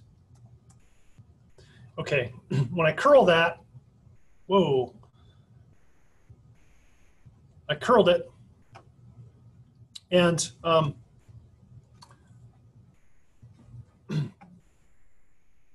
here there's this thing in here. It says go to this. So so what I'm seeing here is is the, the before the redirect there's a page that that is displayed but it's never it never shows up in my in my browser right so this is an insecure redirect and it has this if you look in here it has this message in it. And again if i were to, if i were to do this in wireshark i mean i probably I, I just know that curl will give me this but probably what i would have done with something that i thought was a redirect was i would have observed the traffic in wireshark and you'd you'd be able to you know get to the same thing. But I, I do that and then um, and then I copy it, copy the selection, and um, let's see if I can paste this into my. Look at that! Oh no, that's not where I wanted to paste it. So um, I'm to paste it in right here. Oops, something didn't work.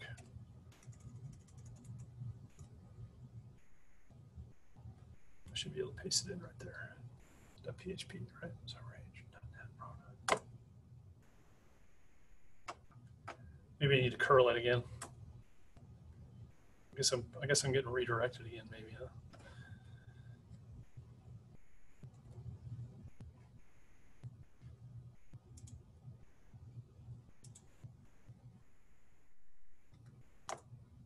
Yeah, there we go. There's the flag.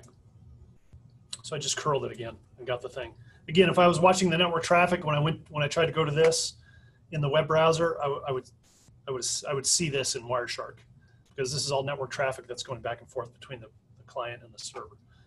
Um, it, let me point out here that I'm I'm cutting and pasting. This is a thing that you couldn't do um, a month ago in the cyber range, but I'm cutting and pasting between my Virginia Cyber Range virtual machine here in my browser tab so I just hit control, whoops, I just, I'll, I'll do a copy selection. And now I'm um, going back to my um, browser that's in, uh, running in Firefox on my Windows 10 machine, and I'm pasting in that thing.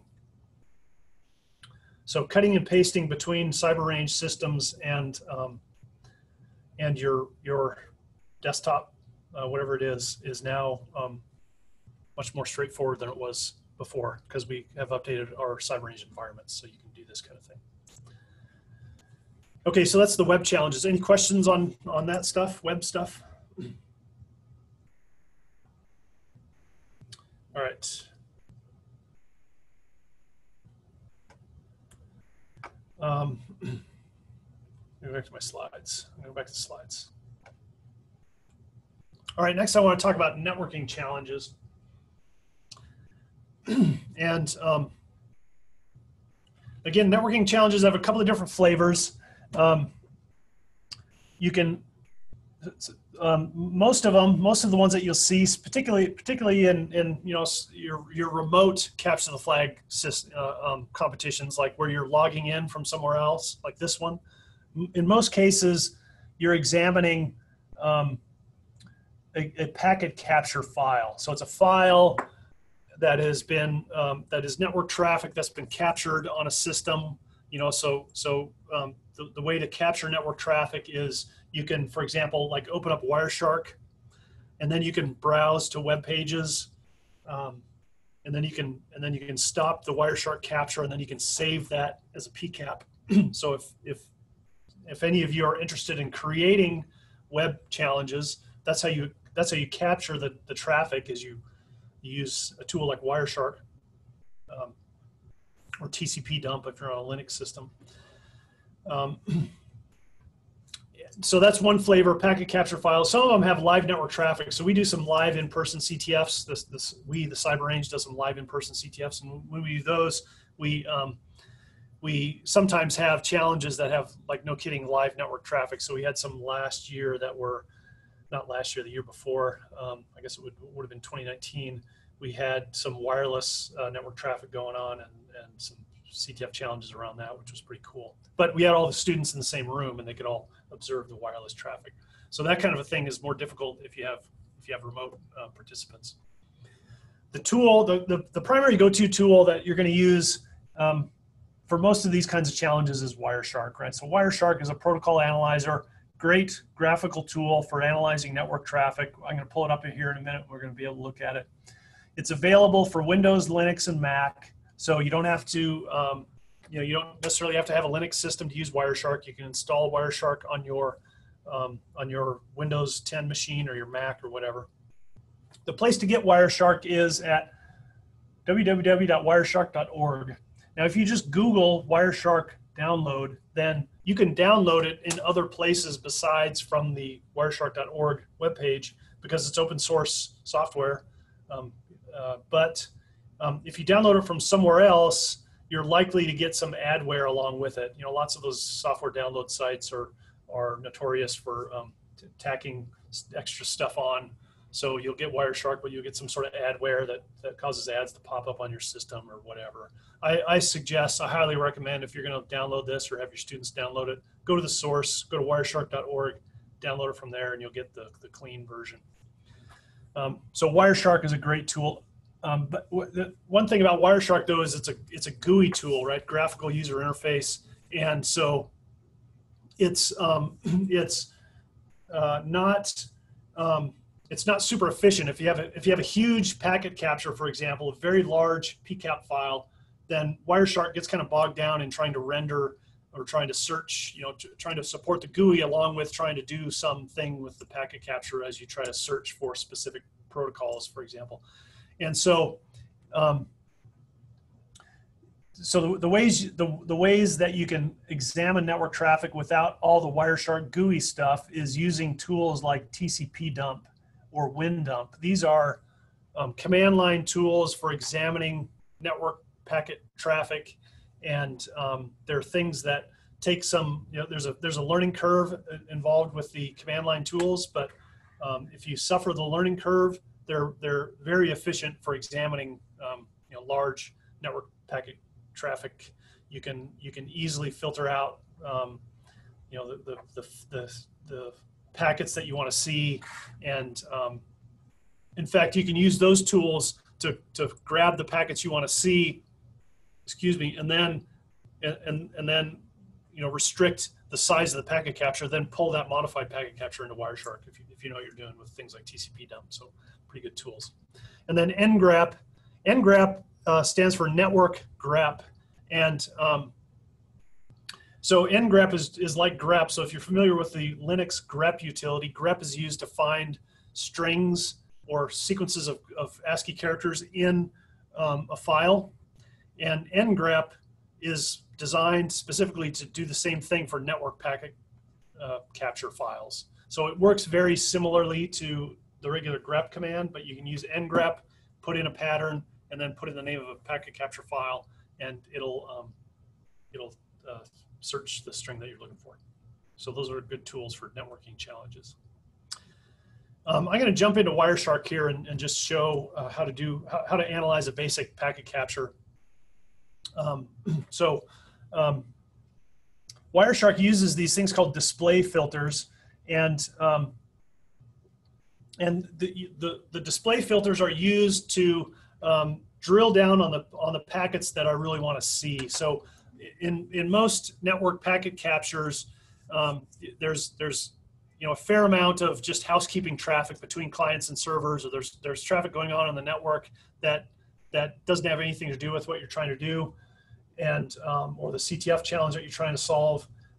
and so, um, being able to filter out the specific traffic that you want to look for is, is a very important task. And this is, you know, this gets to those basic cybersecurity analyst sorts of tasks, right? So if you're if you're you know like like at Virginia Tech, we capture um, we can't we don't capture all network traffic because there's way too much of it, but we capture in in some portions of the network we capture um, some of the traffic and, and we hold on to it for some fixed time period, a couple of days, and we do that in portions of the network where there's there's um, like um, you know financial data being transacted or there's like PII and that kind of stuff because we want to make sure that if, if any of those systems are compromised, we want to be able to look at the packets that that transition the network to try to identify who the attacker was and what they did and et cetera. And um, and so if you're going to examine that kind of packet data, you have to you have to be able to filter out the noise, right? There's a whole bunch of noise in the traffic, and you have to be able to drill down on specific things like IP addresses or protocols or or whatever. And in Wireshark, you use display filters to do that. And so here's an example display filter, and there's this there's this display filter bar in Wireshark. And here I, I my filter says IP.dst, so that's the destination IP address. So I want to filter, I want to, I want to find packets that have a destination IP address of 10.3.0.20 and also have TCP port of 80. And so um, here's my result, right? Here's the destination IP address. So I'm only seeing packets that have a destination IP, IP of 10.3.0.20. And I'm only seeing packets that have a, uh, a, a, TCP port of 80, right? So, so um, the port information, uh, you know, th th this, if I drew, if I showed the actual network packets, you'd see that each one of these is um, is to or from TCP port 80, and um, I'm just not showing that much of the output here, but but that's what it does. Um, and so, and, and I, I use the text box here, and I, I use an expression. Uh, there's if I click the expression button over here on the right, this helps me construct my my um, display filter. So I don't have necessarily have to memorize all these different filters. There's the the the, the uh, display filter system in Wireshark helps me do that a little bit, and I'll show you that here in a second. Um, so then I, I type in my filter, then I click apply, and the stuff that I don't want to see is filtered out. And then when I'm done looking at that specific traffic, then I can hit clear, and the and the it's going to clear the filter, and then I'm going to see all the traffic again. And so um, let, let me, I'm gonna, I'm gonna pull up one of these challenges, one of these networking challenges, and I'll show you what this looks like in, in Wireshark. Play around with a little bit. So here's a challenge called MAC-WHO, and it says, um, what is the MAC address of the system at 192.168.9.128 in the attached packet capture file? Okay, so so for this challenge, um, you know, if I don't know what a MAC address is, then I, then I might do some Googling to learn what a MAC address is. Um, if I don't know what an IP address is, you know, I might do some Googling to figure out what that is. Uh, but uh, eventually I'm going to get to the point where I have to examine this traffic. So I'm going to click on the packet capture. And um, fortunately, I have Wireshark installed on this system. I could do this in my in my uh, Kali Linux system too, but I'm I have Wireshark here, so I'm going to just do it right here. Okay, so here, um, oh, I will remind me later. Okay, so here I'm in Wireshark. If, if someone doesn't have Wireshark on their laptop, they're going to have to actually do the capture the flag through the cyber range in order to download the file and look at it. Uh, yeah, well, yeah, yeah, you can, okay. yes, you can do that. So, so um, I could do that too, right? So here I am in in uh, the cyber range, and um, yeah, so I can I can pull this up over here too. Let's see. Let me let me pull up the CTF over here, and I'll do it in. Um, so if I go to vacr.io slash workshop.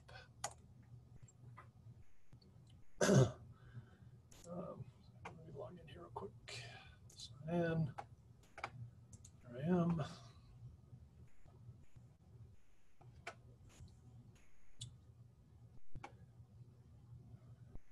Yeah, so I can, I can get to the CTF here in Kali Linux.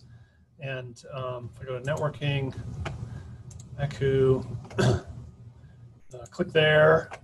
It's going to download, save file. So I could open with, um, I'm just going to save it, webcapture.pcap. So now if I go over to, so I could open Wireshark from, I mean, I could browse to where that is in the, in the, the file system, or I could open Wireshark and go to the file. I know that the file is in the downloads folder in my home directory, so I can go to downloads, and there's webcapture.pcap. Um, can you see that? So now I'm just going to say Wireshark web capture.pcap. And that should open Wireshark. And there it is. okay, so um, it says 192.168.9.128. 168.9.128. Okay, so I'm going to go into my, I'm, I'm up here in the filter bar, and I'm going to click, I'm going to say IP. So you notice when I type this in, when I start typing in a filter, Wireshark is going to help me by providing all the different things that I could continue this with. So I can start typing over here, and this is going to help me remember what the what the different filters are. There's also, um, oh, I guess this doesn't have the filter, the expression filter in it. Hmm, interesting. Um, it's probably there somewhere. I just don't get the same menu as I do on a Windows system. Um, anyway, so I'm going to type in ip.addr, ip.address equals, and then it's that thing 192.168.9.128. So if I do that, now now the traffic is I, I am looking at all of the traffic that's either to or from this IP address. So I have source or destination is 192.168.9.128. I could also change the filter a little bit and I could say IP dot source if I just want to see traffic from that IP address. And so there's this now the only packets I see are from 192.168.9.128. And um, there's a bunch of traffic here and I could, I could do some examination of this traffic actually. I could right click and I could do things like follow TCP stream and I could see a bunch of stuff here, right? This looks like some sort of an encrypted tunnel um, SSH session or something. Um, that's that's not. I mean, that's interesting, but that's not going to help me solve my challenge because really, all I have to do is um, let me clear that filter. Go back to the filter I had before. That's not going to help me solve my challenge because the challenge is to find the, the MAC address of the system at that IP address. So if I click on any one of these packets, I can I can um, the, the the protocol hierarchy is is um, listed down here at the in the middle in the middle box here, and I get um, it goes from the, the it goes from the um, physical layer up to the to the um, um, MAC layer, medium access control layer, up to the network layer or the IP layer, up to the um, transport layer, and then finally, um, well, this is so at, at, the application layer, this is using TLS. If I, if I if this was like if this was like an HTML interaction, I would see the HTML traffic here at the application layer. But what I'm interested in is I, here's the IP the IP uh, protocol data in this packet, and the source address is 192.168.9.128. Okay, so I'm looking for the the um, the Ethernet address or the MAC address of the system with that IP address. And so here's the source IP address 192.168.9.128, and here is the um, here's the Ethernet address. So 000C29B4F1C2. And if I put that in, um, how do I copy uh, copy the value? Will that give me what I want? I, I need to copy that. See if I can paste it in here. Yeah, it gave me way more than I wanted. Um, I guess I can get rid of all this other stuff. Delete.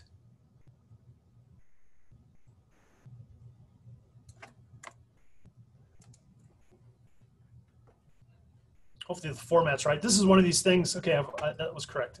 This is one of these things where um, you know, it, it's, um, if, if the, if the creator of the CTF challenge doesn't put in the same format that I just put in, if they used capital letters, for example, in the hex instead of lowercase, then, uh, then I may have put that in and it may have told me that my answer was incorrect.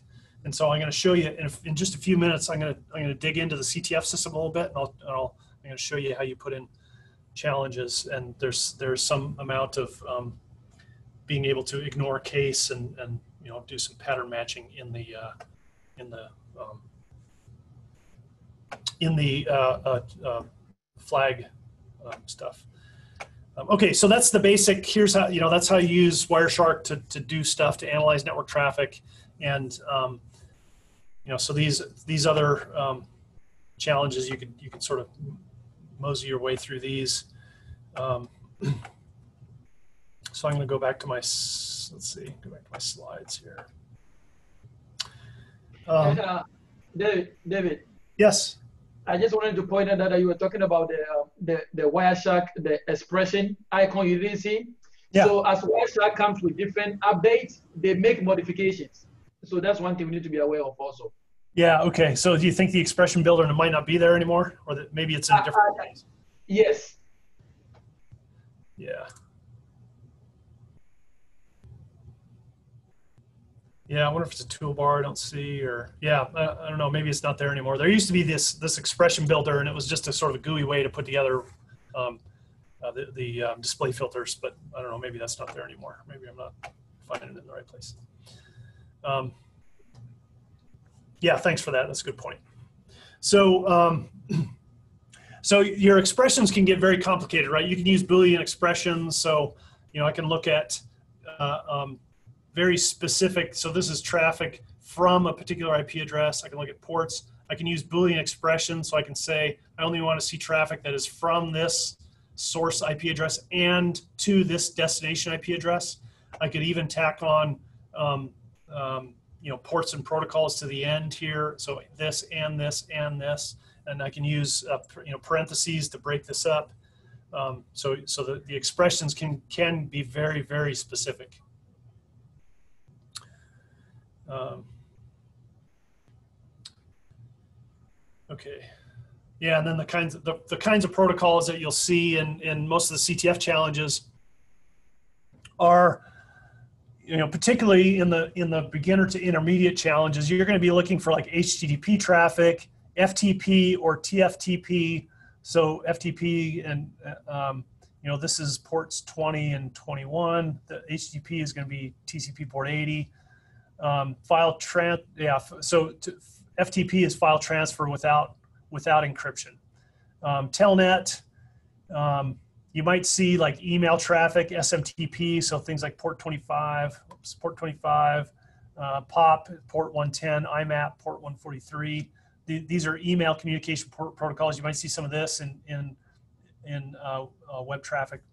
Some some things um, that you can sort of ignore, particularly in in uh, entry level web challenges, are secure protocols. Things like HTTPS or SSH or SFTP um, or SMTP if it's on some of these other protocols, because this is secure. These are these are encrypted tunnels for secure uh, traffic. And in an entry level CTF challenge, they're not going to expect you to be able to break the encryption to be able to analyze what's going on in that in that communication. So if if if there's a challenge that requires you to examine traffic using one of those protocols, usually there's more to it than that, and there's some way that you're able to, you know, there might be some, uh, um, uh, you know, private key that you have to find somewhere before you can go on to analyze the web traffic, right? You have to be able to break the encryption somehow. And um, and you're gonna you, you know you, you you're, you're likely to see that in some very advanced web challenges but you're not going to see it in sort of entry level to intermediate web challenges um, so uh, time is it here so there's a there's a set of slides that walks through how to do um, file carving and in in network traffic, it's um, it's often useful to be able to pull files out of the web traffic, right? So you might have you might have a, um, a web interaction between a client and a server, and you might have a, a, a, an image file or a document file or something that is that is transmitted between the client and the server. Could be a web transaction. It could be a, an FTP, you know, requesting a file from an FTP server. It could be any number of different sorts of client server applications, but there are often files that are that are traded between clients and servers, and that those files exist in the network traffic between the client and the server, right? And so um, there are lots of CTF challenges, particularly as you get up into the sort of the intermediate ones, where you have to be able to carve the file out of the uh, web traffic. And this is true in, in CTFs and in incident response, right? You can imagine that that um, if you have some uh, potential intrusion of your network and you want to identify what uh, what data might have gotten pulled off of your systems, you want to be able to dig into the network traffic and, and find those files. And so file carving is a, is a technique that is uh, pretty important for a, for a, a cybersecurity analyst. And um, you'll see you'll see challenges in CTFs often that require you know you to do some file carving. So um, so you know, how do you do that? Um, I'm gonna I'm gonna talk about this a little bit, and uh, you know, we're getting to the point where I'm not sure I'm gonna have time to to do this in person, but I'm going to um, I'm going to provide these slides to you. I'm sorry the slides aren't there. I I, I swear to God I uploaded them last night, and um, I, I, guess I should have went back and checked to make sure they got to the right place because because um, they don't seem to be there. But but um, the, slides walk through this process of carving a file. And um, so uh, I will talk a little bit about this to put it in context. In, in many cases, the, the file type may be identified in the network traffic header information. Okay, so so like the, the request, like if a, if a if a web page has images embedded in it, then there's going to be a request from the client to the server for an image file, and it's going to have a file extension, so JPEG or a or a um, GIF or whatever. And um, or if it's a FTP download, it might have a dot text extension or doc extension or some some file extension that indicates what the file type is. And different files different file types have different signatures. And the signature is part of the binary stream, you know, so, so the signature is in the binary file itself, and it indicates the, the, um, the beginning of the file and the end of the file. And the reason that, um, the reason that data is there is, is, it, is it makes it so that systems can identify you know what's a doc what's a doc file what's an xls file what's an image file what's a what's a whatever. And, um, and so you can identify what a file is, or you can identify the start and end of a file based on that, on that, um, that signature. So here's some examples. A Word document, the header of a standard Word document file is gonna have this signature. D0, CF11, E0, and this is in hex. So it's, so it's one through 10 and, and uh, A through F, zero, zero, through 9 and A through F. D0, CF, 1, 1, E0, A1, etc. And, um, and then it, a Word document has a footer. Looks like this. So you can identify the start and end of a Word document based on the header and the footer. And you can carve that out of the binary transfer between the client and the server. And, and when you do that, you, you can use a, a hex header to do that after you download the binary data between the two, and then you can pull that file out. A PDF has this header and this footer, so you can identify the start and end of a PDF file. A zip file looks like this. A JPEG looks like this. It always starts with this FFD8. Here's the whole header, but but um, you know, you, it always starts with this FFD8, FFE0, and it all, and it ends with FFD9. So you can identify a JPEG file in a in a stream of binary data. And so, um, so these slides walk you through how to do this file carving exercise. So basically, um, if you download file packets.pcap and then you find the HTTP traffic between the, the um, this um, source and destination. You can follow the TCP stream, and then you can download, excuse me, you can download that data as the binary stream, and then you save it to your local system, and then you can open it in a hex editor. And in the hex editor, you find so this this picture over here on the right shows me I, I'm I'm finding this header from the JPEG. So there's the FFD8, um, or it's actually right here, FFD8, FFE0. I highlighted the wrong piece there. And so what I would do in in my hex editor is I would delete all this, and so there's my header for my for my JPEG, and then at the very end there's the there's an you know you don't see this whole thing, but but in this um, hex editor tool, you can do a search and you can find the FFD9 that indicates the footer.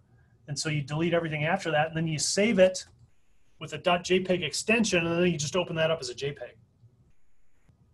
And so I'm gonna, right, right after we're done here, I'm gonna, I'm gonna post these file, this file again. And so you can, you can take some time if you want to this afternoon and walk through this. But this is, this is a manual file carving exercise that shows you how to carve a file out of a uh, out of a network packet capture. Now, um, I'll, I'll also say this: there, there's Wireshark provides an automated file carving tool, right? So, so you can imagine, you know, I can do this manually. So why don't why doesn't why don't they just why doesn't Wireshark just implement this system so that it, it'll do that automatically? And they do, right? So Wireshark does have an automated file carving tool, and I will say that it, it, it, it works about half the time. So it's definitely not 100% effective. I would say that it's it's maybe 50% effective, but it's not it's absolutely not perfect. So um, so it's it's so if if you want to um, if you want to not learn the manual way and just sort of rely on the on the automated way, then uh, then just understand that it's not always going to work for you. But to do it the in the um, in the automated way, I give directions in these slides too. So you basically follow the TCP stream, and you um, and you um, do this file export objects. And in this case, I was looking at HTTP traffic, so I specify the protocol of the transfer, and then um, and then it'll it'll try to find every file and then dump it um, and then I can search through those files and I can download them and I can examine them. And um, so that that's that's a thing. Uh, the automated way, again, the automated way is not is not uh, super effective, but it works uh, sometimes.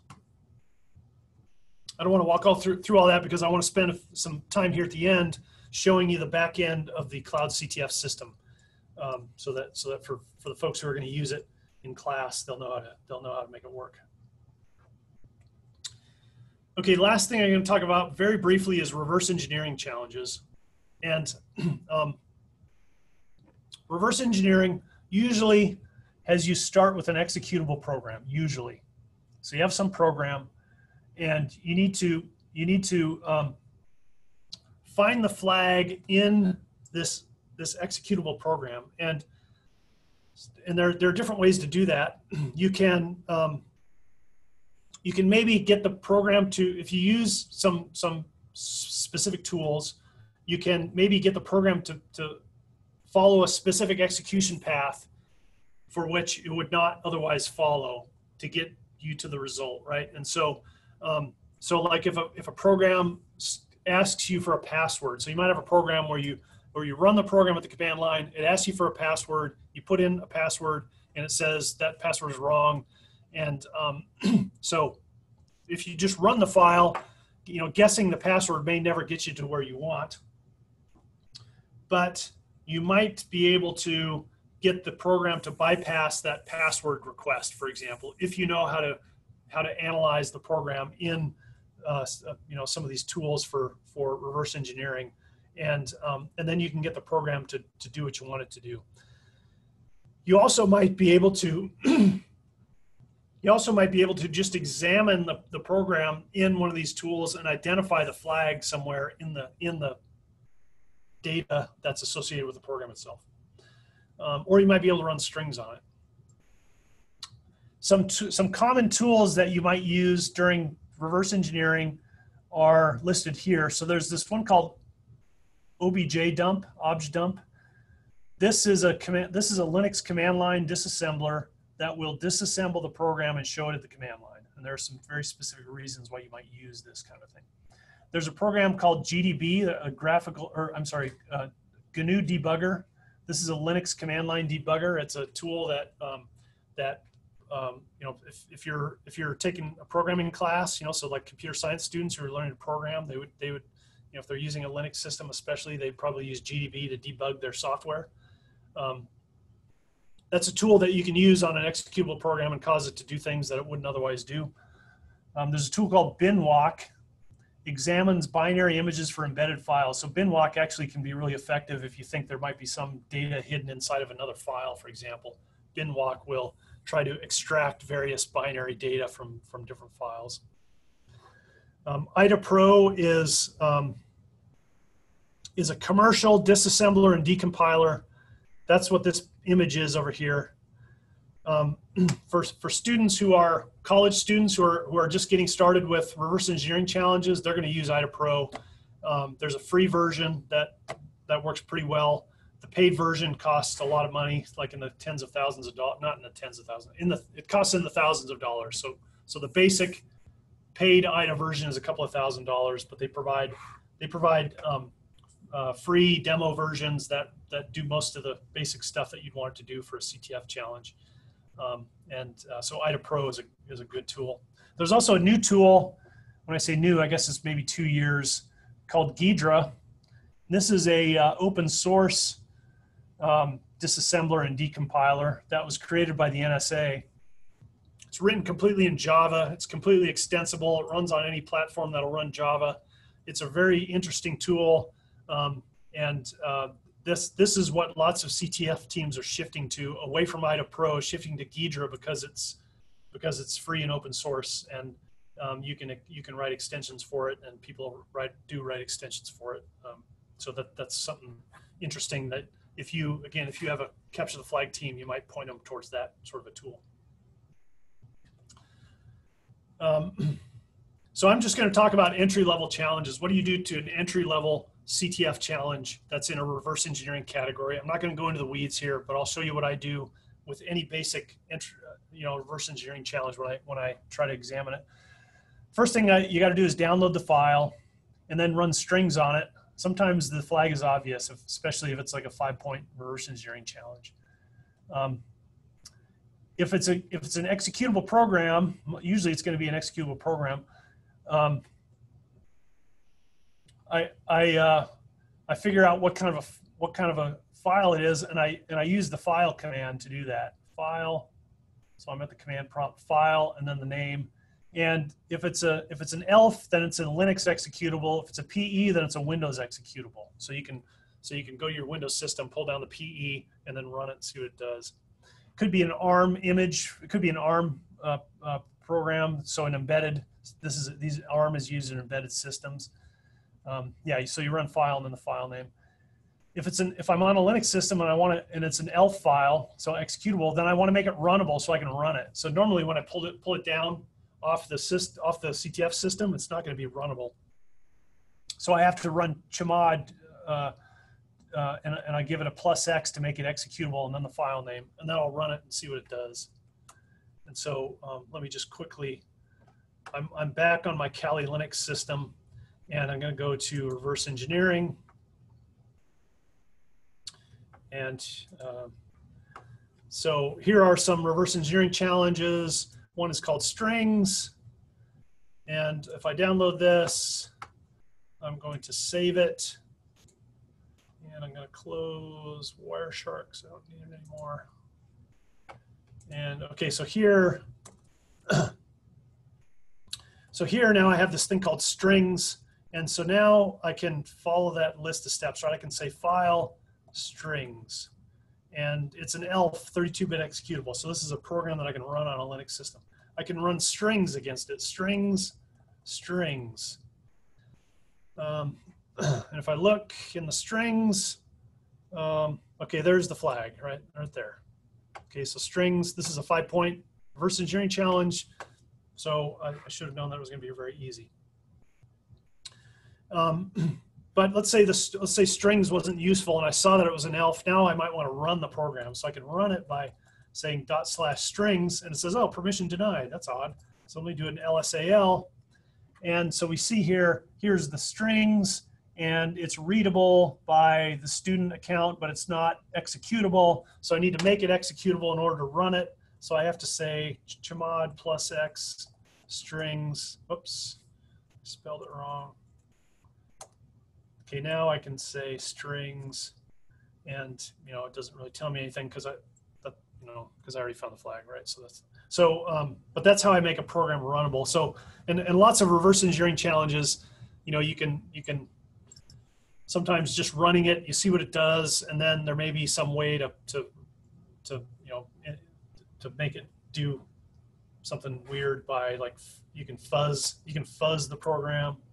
So you can fuzzing. So this is where you dump in a bunch of random data in any input strings to try to make it fail ungracefully and, and give you some information. Um, okay, I'm gonna I'm gonna stop there. Um, there's a there's a cool walkthrough in here. Um, okay, there's a brief introduction to IDA Pro in here that you can look at.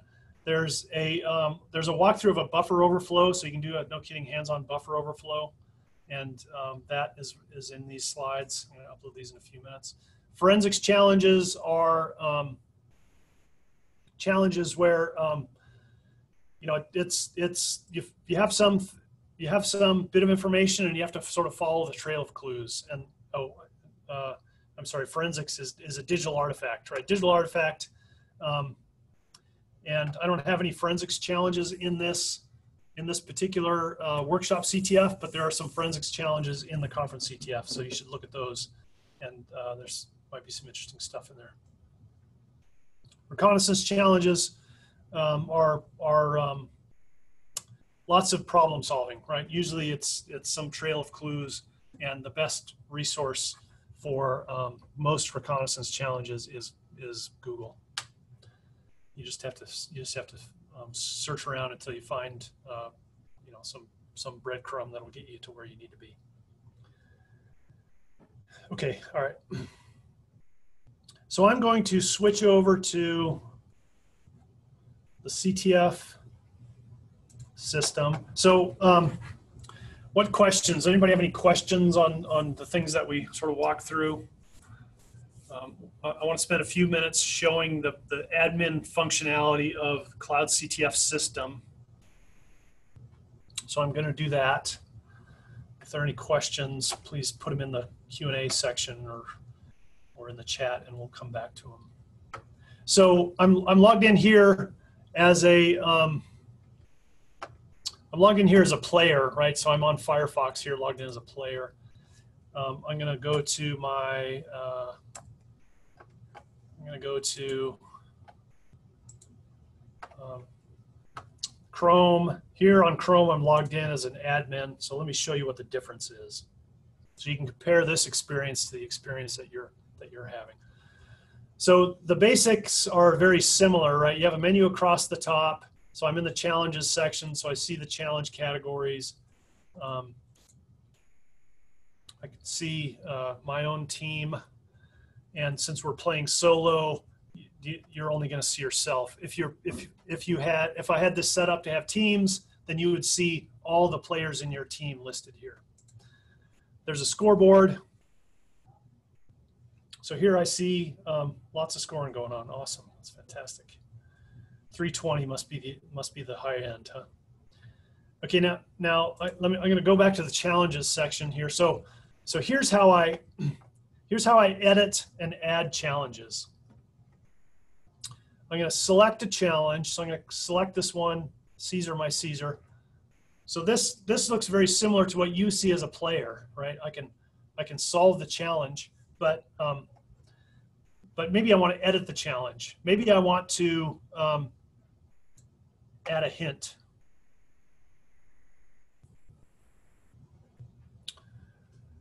Okay, so here's the challenge. Here's where I edit it. I can change the name of the challenge. I can change the description. I can change the points. I can change the flag. So here I have the flag as a string. And when I put this in here as a string, I, the, when somebody types in the string, it has to match exactly. Now this allows me to put in multiple correct answers, right? So I might, I might think that um, uh, somebody might capitalize some of this stuff, right? They might say, I came, I saw, I conquered. Okay, maybe I, maybe I can imagine that somebody would type it in that way, or they would, you know, have some diff- slightly different. Um, they might capitalize the very beginning of it or whatever. So I can put in multiple strings and have multiple different correct answers. And if what the person types in matches any one of these, it's going to be a match, and they're going to get the points. Um, what I can also do is I can put in these things called regular expressions. And um, I'm not going to go very far down the regex uh, path, but um, if you if you know regular expressions, or if you're willing to take a little time and learn about regular expressions, there are some there are some very simple regular expressions you can use that will do instead of matching an identical string, it'll do some pattern matching. So, for example, here's a regular expression. I put in a slash, I put in the thing, I put in a slash, and then I put in an I, after the slash, I put in an, an I, and what that I says is it says ignore case.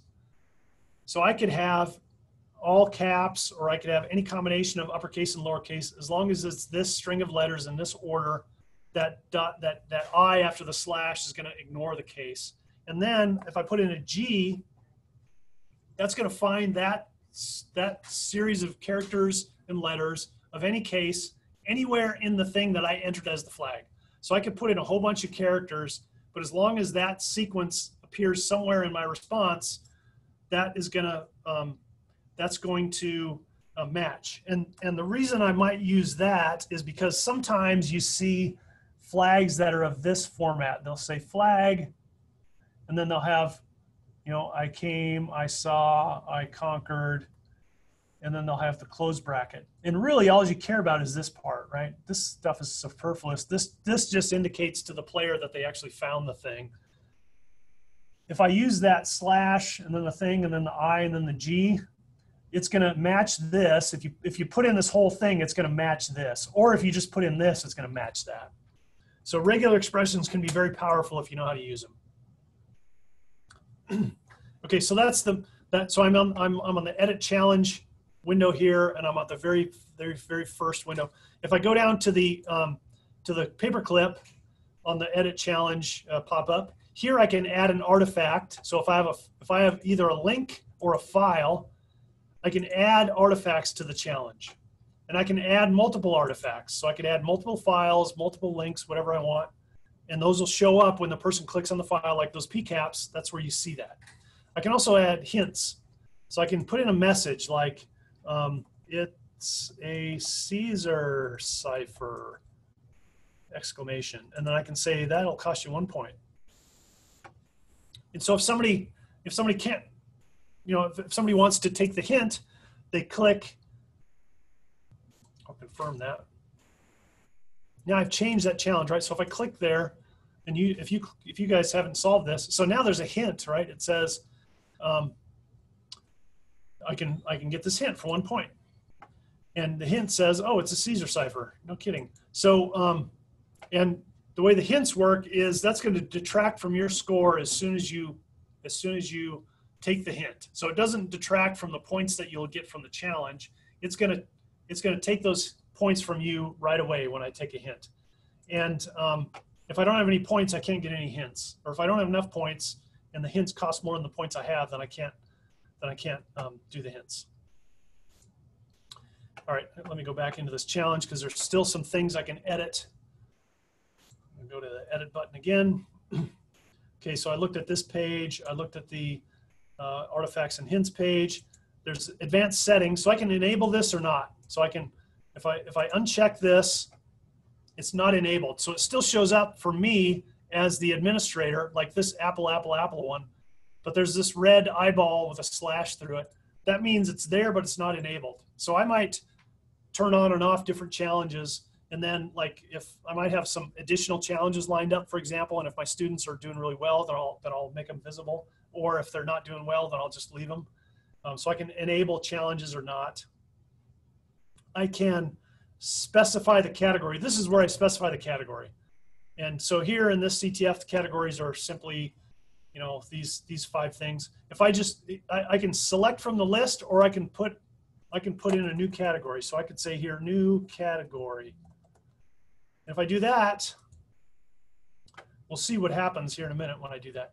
I can put in the max number of attempts. So most of the these have a max number of attempts of 100. If I only wanted people to be able to guess twice, I could put in a two there, and it's only going to let them try twice, and then they're not going to be able to try it anymore. And then there are tags. I can tag these challenges. I can I can tag them with the KUs and KSAs from the NICE Workforce Framework list, and we have them all linked here. Or I can put in a tag that says this is a beginner challenge. If I want to have, if I want to tag my challenges, and and I'll I'll show you in a minute where these tags come into play. You can search. You can search we have a library of challenges and you can search on these tags. Okay, let me go here. So I changed the category here to new category. Now I'm gonna click confirm. And what happens when I do that, you see that that challenge disappeared out of the crypto tab. And now it shows up all by itself in this new category tab. So I can, I can change, that's how I, that's how I create new categories is I can, um, I, I, I do that uh, on, on the, on here. Okay, so that's, that's how you modify a challenge. Here's how I, here's how I add a new challenge. There's a, there's a plus sign in the upper right-hand corner here. So this is pretty consistent with our other, with our other Virginia CyberRange pages, right? If I want to add, um, you know, if, if, I have some administrative functionality, then the, then the buttons are in the upper right-hand corner. So um, if I click add a challenge, I can, I can add a challenge from scratch. So I can put in all the stuff, right? And there's some mandatory fields. There's got to be a name. There's got to be a description. There's got to be points. There's got to be a flag. Uh, I think that might be it. I think these are the only mandatory things. If you, if you don't put in a category, it's going to have a category called uncategorized. Um, so, so I can create a new challenge going through all those basic steps, or I can add a challenge from the library. Hmm, how about that? So I can go here and I can search. So I might want to find beginner challenges, for example. I might want to find beginner crypto challenges. And here are some beginner crypto challenges. And so the beginner, th these are challenges that are in, that have the crypto category and they have a and they have a beginner tag in them. So that last that last uh, uh, CTF um, well, I'll show you where that is. Okay, so um, I just open one up and I'm going to say next. And when I do that, here's the challenge and I can edit this however I want.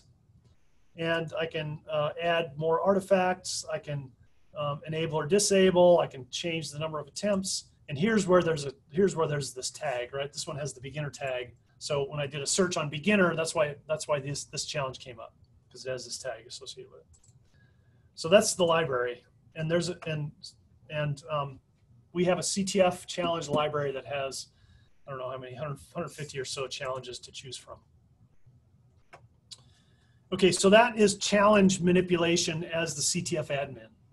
Here's the other thing you can do as the CTF admin. There's an admin um, menu item now across the top here. And so, so if, if I'm a teacher in a course in the cyber range and I provision one of these, once we turn it on. So we're going to turn this on in, in August.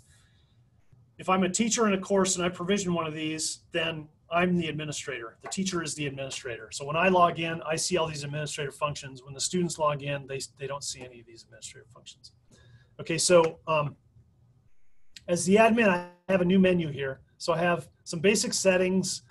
This set, this CTF is scheduled to start uh, today at uh, started at 9:30 this morning. It's it's uh, set up to stop in about 10 minutes.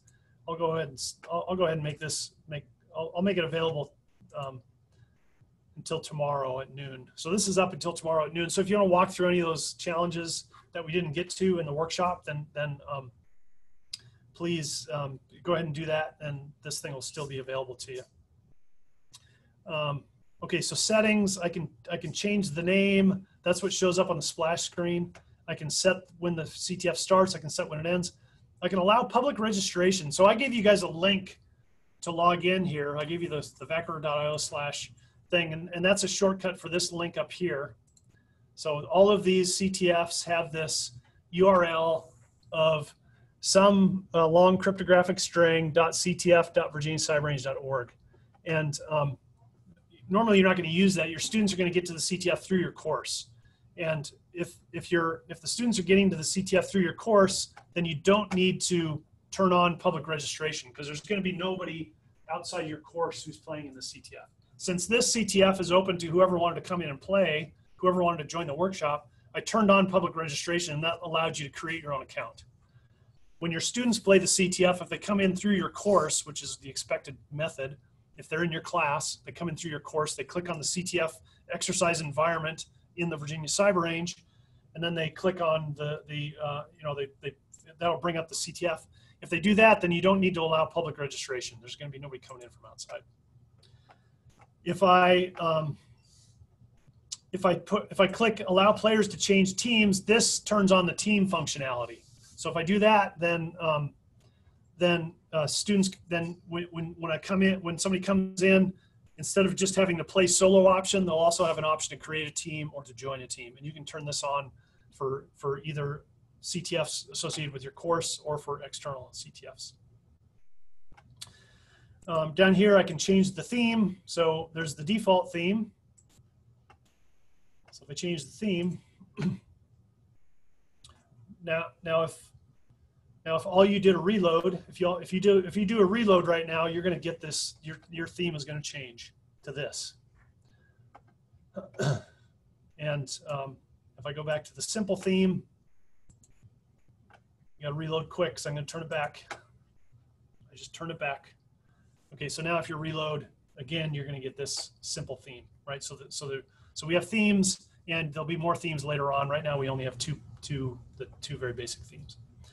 Okay, the players. If I click on the players tab, I see all the players in the CTF. So here I see that there are uh, 33 folks in here right now, and I can delete players. I can edit players. I can promote players to admin. So if you had like a, a, CTF team in your school and you wanted one of your students to be able to add or delete challenges or modify the CTF, you could promote one of your students to being a CTF admin. Teams, here you can manipulate teams so you can move students onto different teams. Right now we each have our own team, so that's not very interesting, but, um, but the teams tab lets you um, lets you move students around on teams or you can see who's on which teams. And I can see, let's see, I can look at the scores for an individual team. And what this will show me is if I had teams turned on, I could see who solved, I could see the, the person who solved each one of these challenges, the individual player. And so that might be interesting if you if you want to put your students into teams, but you want to see which individual actually solved the challenges, then that's how you do that. Statistics tells me um, uh, this just gives me a challenge by challenge list of um, successful and, and, failed attempts on each challenge. Um, interesting. Uh, so yeah, this might be useful to you. And then, oh, and then, okay, so this is, um, so uh, in the admin section, there's a, there's a tab called library. This lets you as an, as a, as an admin in the in the Cloud CTF, so you as a teacher in a Virginia school, you can create your own library of challenges. And so here I've created my own library. So this is separate from that, this is separate from that big library. This is my own library. And so if I'm gonna add challenges to a CTF, I always add them to my library first. So this works the same way. I put in the, all the details about the challenge and then I confirm it. And then now when I when I import a challenge from a library, I'm not going to go back here out here and show you. When I import a challenge from a library, the library is going to show me all of the global challenges, and it's going to show me all of my library challenges. And the way I tell the difference is, it's got this little person next to it. It's a it's a it's on my um, it's on my um, It's in my library. There's also a way to, sh- to share challenges amongst your organization. So you can have, so there's organization libraries, there's libraries at different levels and you can share stuff. And um, there's, there's a whole bunch of KB articles that are going to come out soon that explain all those kinds of, all those kinds of deets. Um, okay, so any questions on any of that? That's that's the that's behind the curtain, right? That's how you manage this thing. Um, okay, and, it, and it's noon, so um, so I think I covered what I wanted to cover, and um, I thank you for joining me. This was this I always you know I, I do this CTF workshop occasionally uh, in different events, and I'll do it. I'll probably do it for the NICE K-12 conference this year. I've, I've um, the Virginia Cyber Range is going to provide the conference CTF for the NICE K-12 conference. So if you if you are going to go to the NICE K-12 conference, you might see some of these CTF challenges again that you saw that you see in the conference CTF. I'll just warn you up front. That's a thing, right? Because we only have so many challenges. And we're not gonna, I'm not sure how many more we're going to be able to create before then. But um, I'll do another version of this uh, um, CTF workshop for that conference. Um, probably a very similar version. Um,